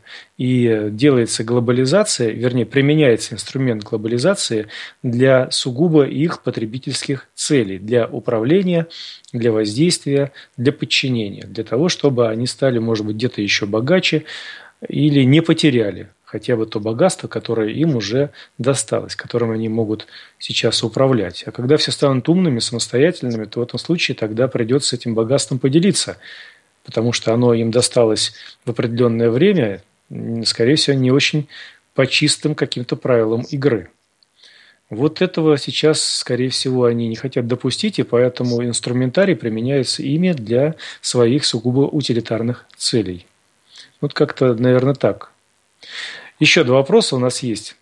Вопрос эфира от Владимира Изматич. Цивилизация накроется медным тазом или успеет бежать в космос, оставив ад на планете? Как думаете? Вы имеете в виду мир доктрин или вы имеете в виду реальность? Похоже мне, что Владимир задает вопросы из реальности. Вот если сейчас мы будем так продолжать, что успеем ли сбежать в космос, оставив ад на планете, или все-таки накроемся вместе с цивилизацией? Накроемся вот тем самым упомянутым медным каром. Не нужно тут рассчитывать на великое чудо. И боюсь, что те, кто говорит, что случится какое-то великое прохорение, или там э, предки нехай прилетят из далеких галактик светлых. На это надеяться не надо, всяк ведь хам свою девку кует. И я бы советовал бы всем людям в первую очередь просчитывать негативный сценарий и и все свои поступки, планы строить именно исходя из этого негативного сценария. То есть, если мы в своей жизни только лишь надеемся на то еще прилетит вдруг волшебник в их верхнего цвета вертолете, ну и проведет их верхнего рога действия, то это, это только самый паразитизм. То есть мы опять надеемся на то, что наш кто-то другой добрый дяденька что-то сделает, что мы, как и успеем вырваться в космос, оставив эту планету умирать. Но всегда же всех, я думаю, всех более-менее адекватных, порядочных людей учили, что прибирать за собой Гага. И как и вся оставшаяся помойка на земле, оставленная, она нам аукнется, как или иначе. Поэтому никакое успеет выйти в космос и, и речи быть не может. Ну, да, я думаю, что на самом деле достаточно романтично, потому что вот представьте себе, мы прилетели на Луну, что там, температура на Луне, минимальная температура там 274, что ли, на, по одному из полюсов, просто ну, там не везде замеряли температуру, это тоже на самом деле с Луной сложный вопрос сказать, но в принципе температура от общекосмической там отличается мало.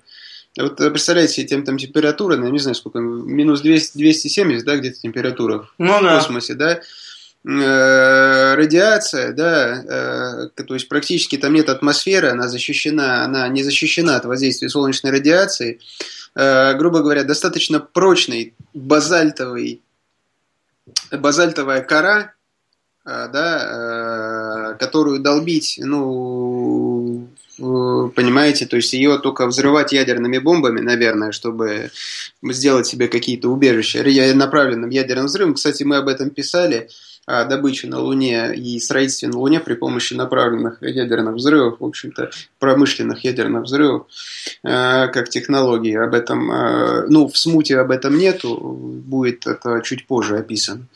Вот, но э, без базы на, на Земле очень серьезной, эти такие работы провести будет мало возможно, понимаете? И то, что, ну, ну что, вот мы предскажем, какое-то количество людей туда прилетит, и что, ну, они погибнут, и погибнут, в принципе, достаточно быстро, я думаю. Вот. Да, у нас сейчас много людей разных религиозных, течений, которые ждут пришествия какого-либо спасителя, то есть Христа, Мессии, Машаха mm. или Перуна, что он там прилетит и наведет порядок. Вот как-то да, вот это у нас сейчас наблюдается такая тенденция. Все ждут какого-то волшебника в голубом вертолете, который всех наградит.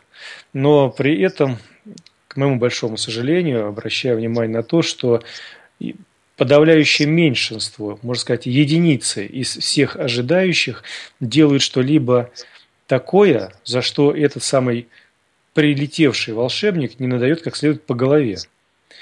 Получается, что ждут-то они его ждут и надеются, а если он пролетит, они будут говорить, не дай бог, что ж ты сюда приперся-то, за что ж нас тут мочишь? А он как тараканов вас мочит, которые здесь расплодились, или как крыс, которые расплодились здесь, жрут и, извиняюсь, обратно из себя что-то выделяют. При этом а да. Пример могу привести. Э, представьте себе человек, имел сына, белый русский человек. Э, сын ему бах, сделал всех прихренился на негритянке. Ну, предположим. И вот он человек оказался глагохителем, отец, прожил там лет 300, и ему на старости лет хотелось в кругосветку отправиться. И вот проплывая говорю, мимо Африки, находит племя. Видит среди негритят, что некоторые негритяги, никакие уж негритяги, некоторые негритяги похлеклее, волоски у них попрямее. Так вот, главный вопрос, будет ли Алихан впрягаться этих негритяг, решать их проблемы, вот, и все прочее. Как бы человеческого, если говорить о фантастических мирах и не фантастических мирах, приходится походить вот этих самых негритяг. И э, как бы для себя там думать, что человеческую представляет для межпланетных цивилизаций какую-то огромную ценность, имея какую-то избранность, мне кажется, это ошибочно. И Всем давно надо понять, что не каждый избранный, и главное не считать себя избранным. Если, конечно, если себе представляешь, что люди в конце концов расходят, все по своим как полагается. А хоть в не еще надо, хочешь поощрять в себе паразита. Нет, вроде работать, надо трудиться, ну, вот, хозягать. Ну вот, э, как пример, на самом деле в смуте, но в смуте в меньшей степени, это в следующих произведениях мы больше раскроем эту тему. То есть, э, на самом деле, эти волшебники Сириуса, они уже здесь. И да, они давно здесь. Но у них нет никакого желания. И причем у них, они как бы придерживаются разных там идеологических э, воззрений, в общем-то, и, но у них ни, ни у тех, ни у других нет желания э, что-то делать за людей и тем более нести за это ответственность. Вот. Потому, то есть они там проводят свои социальные эксперименты, вне, значит, определенную, смотрят, как развивается, значит, интеллектуальный потенциал человечества – устанавливают с ним определенную идеологическую близость с определенными, да, когда э, они, человечество достигает определенного этапа, устанавливает определенные связи. Там. Но никто ни за кого не будет, э, как говорится, во-первых, э, просто так предоставлять ему какие-то, предоставлять людям какие-то технологии, предоставлять людям просто так, то есть какой-то интеллектуальный продукт, просто так ему предоставлять какие-то предметы, просто так ему давать советы. Вот. Если это и делается, то за это придется заплатить.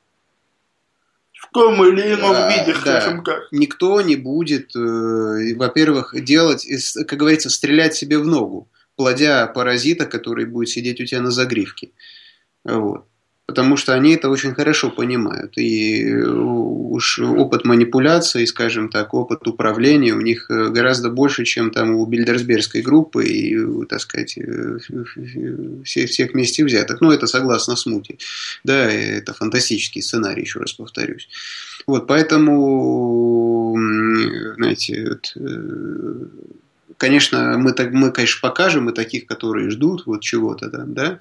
Но... Которые надеются, да. что научат их ход.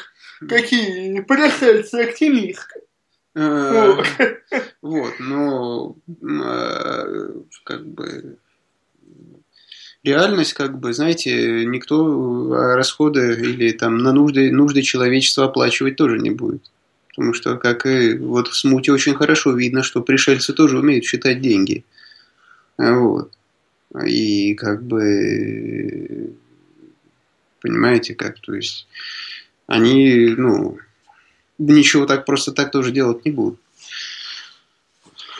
Понятно. Все делается, наверное, для, по, по какому-то замыслу. Если человечество или какие-то представители человечества в этот замысел не входит, то особо считаться с ними никто и не будет. Точно так же, как не считаются, например, люди с осиным гнездом, которое появилось у них где-то э, рядом с домом, и осы начинают жалить.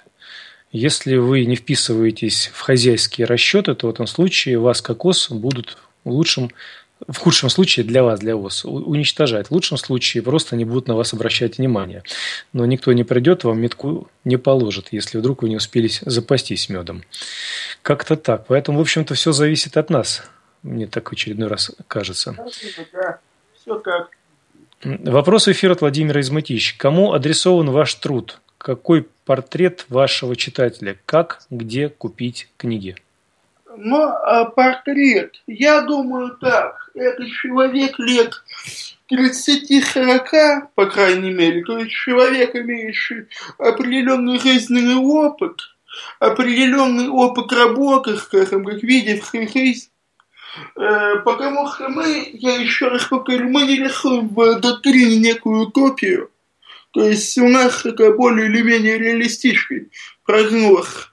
И молодым людям, которые часто любят утопии, и к утопиям как или иначе склоняются, эта книга может очень и очень сильно не понравиться, не оправдав их утопических ну, ожиданий. Понимаете как, зачастую люди как, вот они после работы едут, да, они устали, им ну, зачем напрягать там мозги лишний раз. Они вот открывают книгу, и они хотят ее просматривать, ну вот, наискос, наискосок. А, когда они сталкиваются с диалогом, где 3-4 собеседника, вот, а, и они разговаривают друг с другом, понимаете, э, о достаточно сложных вещах, и разговаривают долго, потому что люди, как правило, серьезные, если они собираются, у них нет времени, знаете, вот встретиться, там, поболтать где-то вот как-то, и, и ни о чем. То есть они, если встречаются, они разговаривают, ну, такого уровня, который описано в смуте, они разговаривают, как правило, с, с, э, по теме, но достаточно, то есть это не, не пятиминутная беседа. Вот.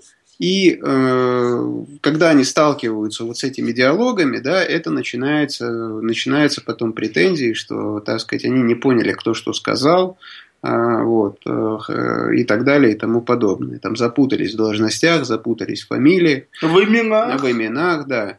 Хотя, э, в принципе, нужно было просто э, внимательно прочитать э, текст. Ну, тут я могу так сказать, с Сашей соглашусь, соглашусь в том, что люди более старшего поколения, они, у них как бы вопросов обычно вообще не возникает. Э, как правило, легче книгу читают люди с техническим образованием, как это ну, не странно, да, э, и наиболее полезные комментарии пока, да, которые вот мы, рецензии, которые я получил, это были от людей э, в большинстве своем, от людей с техническим образованием. Вот. Поэтому, наверное, вот так я скажу. А по поводу, где купить, Где Саша? купить? Сайт www.kakumov.com. Там магазин. Можно купить печатную книгу за 350 рублей, за 50 рублей можно купить электронную книгу. Вот. Ну и для свободного прочтения, если денег нет или почта там плохо работает, вот на сайте. Ссылочка была приведена в анонсе, смотрите все там. Вот так вот. Хорошо. Так, вопросы мы все озвучили. И а, у меня остался все-таки один вопрос, который я задал, но была надежда, что я услышу его пояснение, но как-то вот ага. четко не услышал. Все-таки иллюстрации к доктрине очень своеобразные. Э, многие символы и знаки не характерны для современного общества. Почему художник или мы не имеем права за художника говорить. Ну, надеюсь, что все-таки он оговаривал с вами свои какие-то мысли художественные, вы с ним оговаривали. Почему художник очень много таких своеобразных символов изобразил на иллюстрациях, ну, на картинах? Дело в том, что эти символы вкладывались, во-первых, в техническое задание, в описание к иллюстрациям, а во-вторых, художник, он наш человек, он человек в теме, который этом все-таки кое-что понимает. Вот. И человек не обделенный, скажем так, талантом определенным. То есть он э, настолько хорош, что может предугадывать то, что мы подразумеваем. Он может дополнять некие наши мысли в виде персонажей, объектов. Ну, я еще раз повторюсь, просто на самом деле на ваш вопрос я уже э, пытался ответить. Э, в контексте рассмотрения э, доктрины или идеологии неотрадиционализма, да, то есть э, на самом деле данные символы, они широко используются как и в неоиндуизме, ну, наверное, и в современном индуизме не, не надо, наверное, говорить, что если вы там поедете там, в древнейшие храмы в предгорье Гималаев, я там был лично, понимаете, я эти символы там видел, понимаете, это собственными глазами, там, сказать, и у меня нету, в общем-то, сомнений, что их сделали там не в 30-х годах 20 века, ну, а да. значительно раньше, понимаете.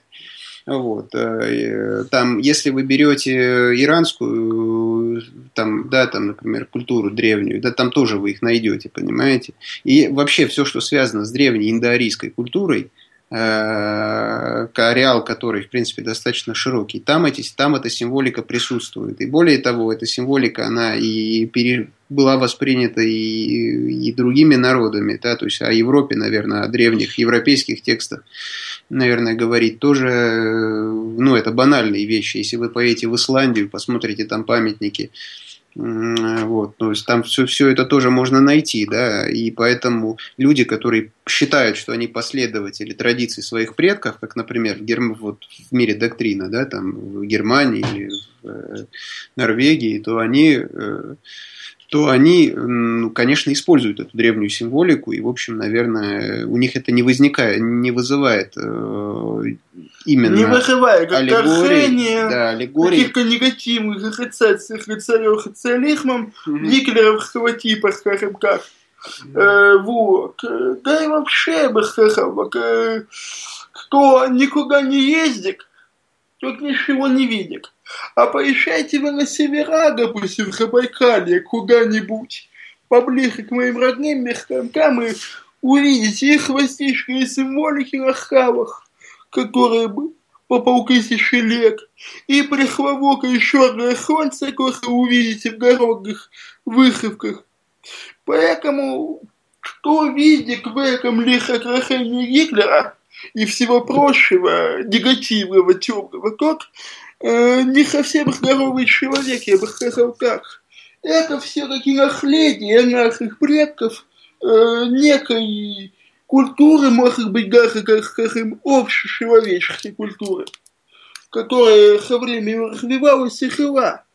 Ведь, например, в том же Китае мы э, можем найти в современных украшениях и хвастиками золотыми кольцами, серьги, браслеты, пищаки, все что угодно.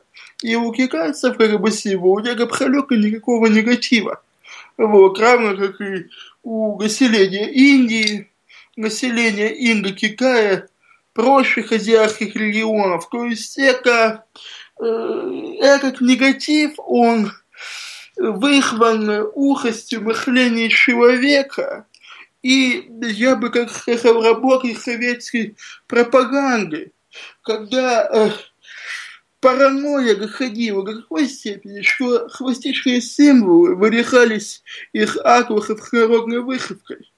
Вот. А если не ошибаюсь, в проекте купюры, которая должна была, или проекта символики Советского Союза, которая Советской, э, ну, СССР, там был вариант э, со свастикой, насколько я помню. Вариант-то был, но после Гитлера, но после... В 20-х годах. В 20-х была другая история, но после Гитлера началась паранойя, истерия. Вот. И не только Советский Союз был ей подвержен, но и все остальные, скажем, европейские державы. Вот. И мне кажется, в этом. Беда в том, что люди узко смотрят на мир и не могут похвалить на него немного шире, чем они смотрят на него обычно.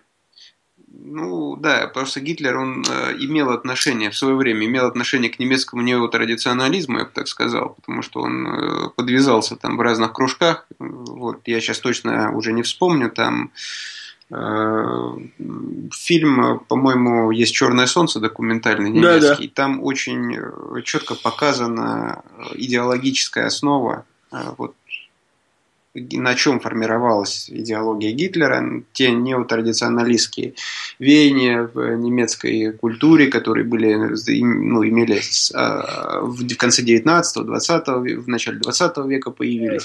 И, в общем-то, своим эм, после возвышения Гитлера, да, и его многие эти течения, они были скомпрометированы им, да, хотя, в общем-то, их последователи не имели прямого отношения к э, партии, национал-социалистической рабочей партии. То есть не все, конечно, часть, часть, часть имела, безусловно, и значительная часть, но далеко не все. Э, вот. И, ну вот, ну это историческое явление, что поделаешь. Вот, э, как бы, Понятно. Я просто хочу уточнить, что на самом деле и Временное правительство выпускало ценные бумаги, где изображалась свастика, и э, эти бумаги действовали еще на территории э, тогда еще не Советского Союза, вот, э, но со временем они были замещены, потому что появились разгромные статьи по поводу свастики, и свастика уже в те времена не очень хорошо начала восприниматься. Но, в свою очередь, Туркестанский фронт, если посмотреть одежду, форму одежды, Туркестанский фронт, фронт РККА, э, там он отличался тем, что у него на шевронах была именно свастика на красном ромбе. Там было написано вокруг свастики Р, С, F посередине, СР, то есть РСФСР. Э, для командного состава это была вышивка, для рядового и сержантского это были шеврончики клееные или пришитые. Так что, да и много других там есть примеров, где свастика применялась и во времена царские, и до царских времен, и даже в начальные советских времен. Так что ничего страшного в этом парадоксе, как кому-то кажется, нету. Это наша действительность, это наша правда. И смотреть надо на ярговые, то есть солнечные символы, как на наше древнее достояние, а не как выдумку каких-то там негодяев, которые полмира чуть ли не уничтожили, э, присвоив себе один из символов и перекрасив его в черный цвет. Вот, поэтому здравомыслие просто проявляйте, хотя бы с точки зрения нашего прошлого. Если уж не хватает там, на что-то большее, то хотя бы, что это было у нас в древности. И не надо так сильно пугаться, надо просто понимать свои корни. Ну что ж, все вопросы мы задали. У нас есть такая традиция на радио, когда говорящие или говорящие в данном случае желают что-либо доброго, хорошего, вечного угу. нашим радиослушателям. Я предлагаю каждому из вас что-либо сказать. Ну, давайте начнем с Николая Михайловича. Николай Михайлович, скажи что-нибудь доброе, хорошее, чтобы наши радиослушатели так прониклись э, темой и сказали «Ух ты!» Ну, э, что хотелось бы пожелать? Хотелось бы пожелать, чтобы каждый человек постарался жить сознательно, э, чтобы он постара... чтобы он, э, как сказать, сам сформулировал и исполнял тот моральный кодекс, который, скажем так, который, который он принял, чтобы люди люди старались заниматься, получать образование, заниматься самообразованием, расширять свой кругозор. В частности, вот мы сегодня затронули проблему глобализации. Вот, то есть, э, если как бы их этого, этот, этот, эта проблема интересует, то почитать, как бы, да, то есть, что у нас в современной российской, в том числе науке, да, ознакомиться с ее достижениями. Вот, для того, чтобы расширить свой кругозор и более широко и ясно и четко взглянуть на те явления, которые происходят в нашей стране и в мире. Вот. Ну и надеюсь, что в этом контексте повесть «Доктрина», повесть «Смута Москвы» и проект «Доктрина» в целом, он послужит вот этой цели, э, э, цели, э, чтобы люди, прочитав эти книги, задали какие-то вопросы прежде всего самим себе и постарались на них ответить вот, и извлекли из этого, наверное, какую-то пользу, э, практическую пользу в жизни. Вот. Прежде всего, это основные философские вопросы. Э, они, в принципе, известны, что есть мир, что есть Бог, что есть я, какова моя цель пребывания на Земле. Это вот эти вопросы, прежде всего. Вот. Чтобы они еще раз задумывались над ними и постарались найти на них какой-то ответ, который им был бы близок и понятен. Спасибо. Угу. Благодарю, Николай Михайлович. Александр Владимирович, пожалуйста, теперь ну, вам слово. От меня я могу, может быть, несколько проще, но скажу как. Живите по совести, в согласии с природой, и почитайте предков. Не будьте однобокими, не мыслите однобоко людям, потому что вы этим своим однобоким загоняете себя в ловушку. Вовах логишка, вовах системная. Будьте хили, старайтесь действительно сам обраховываться. Находи для себя нечто важное, ключевое и как э, созидательно двигаться к исполнению этого ключевого момента. Не, не думайте, что там что-то всегда было решать, что э, власть или кому бы то ни было, кто находится сверху, виднее. Действуйте и активизируйтесь, пробуждайте свое именно охлажное мышление, свое сознание. Мыслите, скажем так, ведь э, если человек будет мыслить, если он будет думать, говорить, то ни одна система подавления будет не способна противостоять всем этим процессам. Вот. То есть нужно быть шире, видеть как мир шире. И находиться в гармонии с собой и природой, которая тебя окружает. На этом, наверное, все. Их влекайте их книг уроки, делайте как берут. Хорошо, благодарю, очень правильные, хорошие слова, мне понравилось. Мне от себя остается, в общем-то, так подвести какой-то итог, от себя что-то высказать. Но вот жить по совести ладу с природой, свято чтить великомудрых предков, это уже было сказано. А ведь на самом деле, если так разобраться, все фантастические писания, которые идут с русской стороны, вот так называемая русская фантастика, они к этому, в общем-то, и призывают. Не грубите старшим, любите природу, не ругайтесь, уважайте других людей – и все будет хорошо. Цените опыт предков, понимайте, кто вы. Вот если разобраться, вся русскоязычная фантастика, она так или иначе к этому призывает. Где-то в большей степени, где-то в меньшей. Но жить по совести ладу с природой, святочить великомудрых предков – это как раз та заповедь, которая всегда отличала русских людей от э, других народов. Хотя другие народы на сегодняшний момент, как это показывает, опять же, практика, исполняют этот, этот долг, эту обязанность, эту заповедь больше, чем русские. И русские на сегодняшний момент превратились в Иванов не помнящих родства, к большому сожалению. Вот пришло время перестать быть таковыми, становиться настоящими людьми, настоящими человеками, хозяевами. Ищите, на мой взгляд, ищите проблемы не в тех, кто создает вам эти проблемы, а ищите ответы в себе, почему вы допустили создание этих проблем другими людьми для себя, для этого мира, и почему вы еще не совершенны – почему вы, как несовершенный человек, пока не сделали себя лучше, чтобы сделать более совершенным этот мир. Хотя мир изначально, в общем-то, на мой взгляд, был совершенным сделан, и мы его несколько испоганили, несколько ухудшили. Так что все зависит от нас. Будьте просто человеками и все будет хорошо. Напоминаю, что сегодня у нас по одному из современных календарей 7 декабря 2016 года среда, по одному из старинных 37 день месяца новых даров, 7525 лета осьмица. Тема эфира «Идеология будущего. Взгляд писателя-фантаста» была у нас рассмотрена – Такунов Александр Владимирович и Захаров Николай Михайлович были авторами этого эфира, за что низкий поклон. Мы рассматривали повесть или проект «Доктрина. Смута в Москве», первая часть. И, в общем-то, теперь, я думаю, есть нашим радиослушателям задуматься, а что почитать, так сказать, в свободные от работы и отдыха время, чем себя занять и над чем поразмыслить. Ну вот, в общем-то, и все. Мне остается только поблагодарить тех, кто активно участвовал в чате, писал интересные вопросы и пожелать вам всего самого доброго. Быть добро, друзья мои. Услышимся. До новых встреч.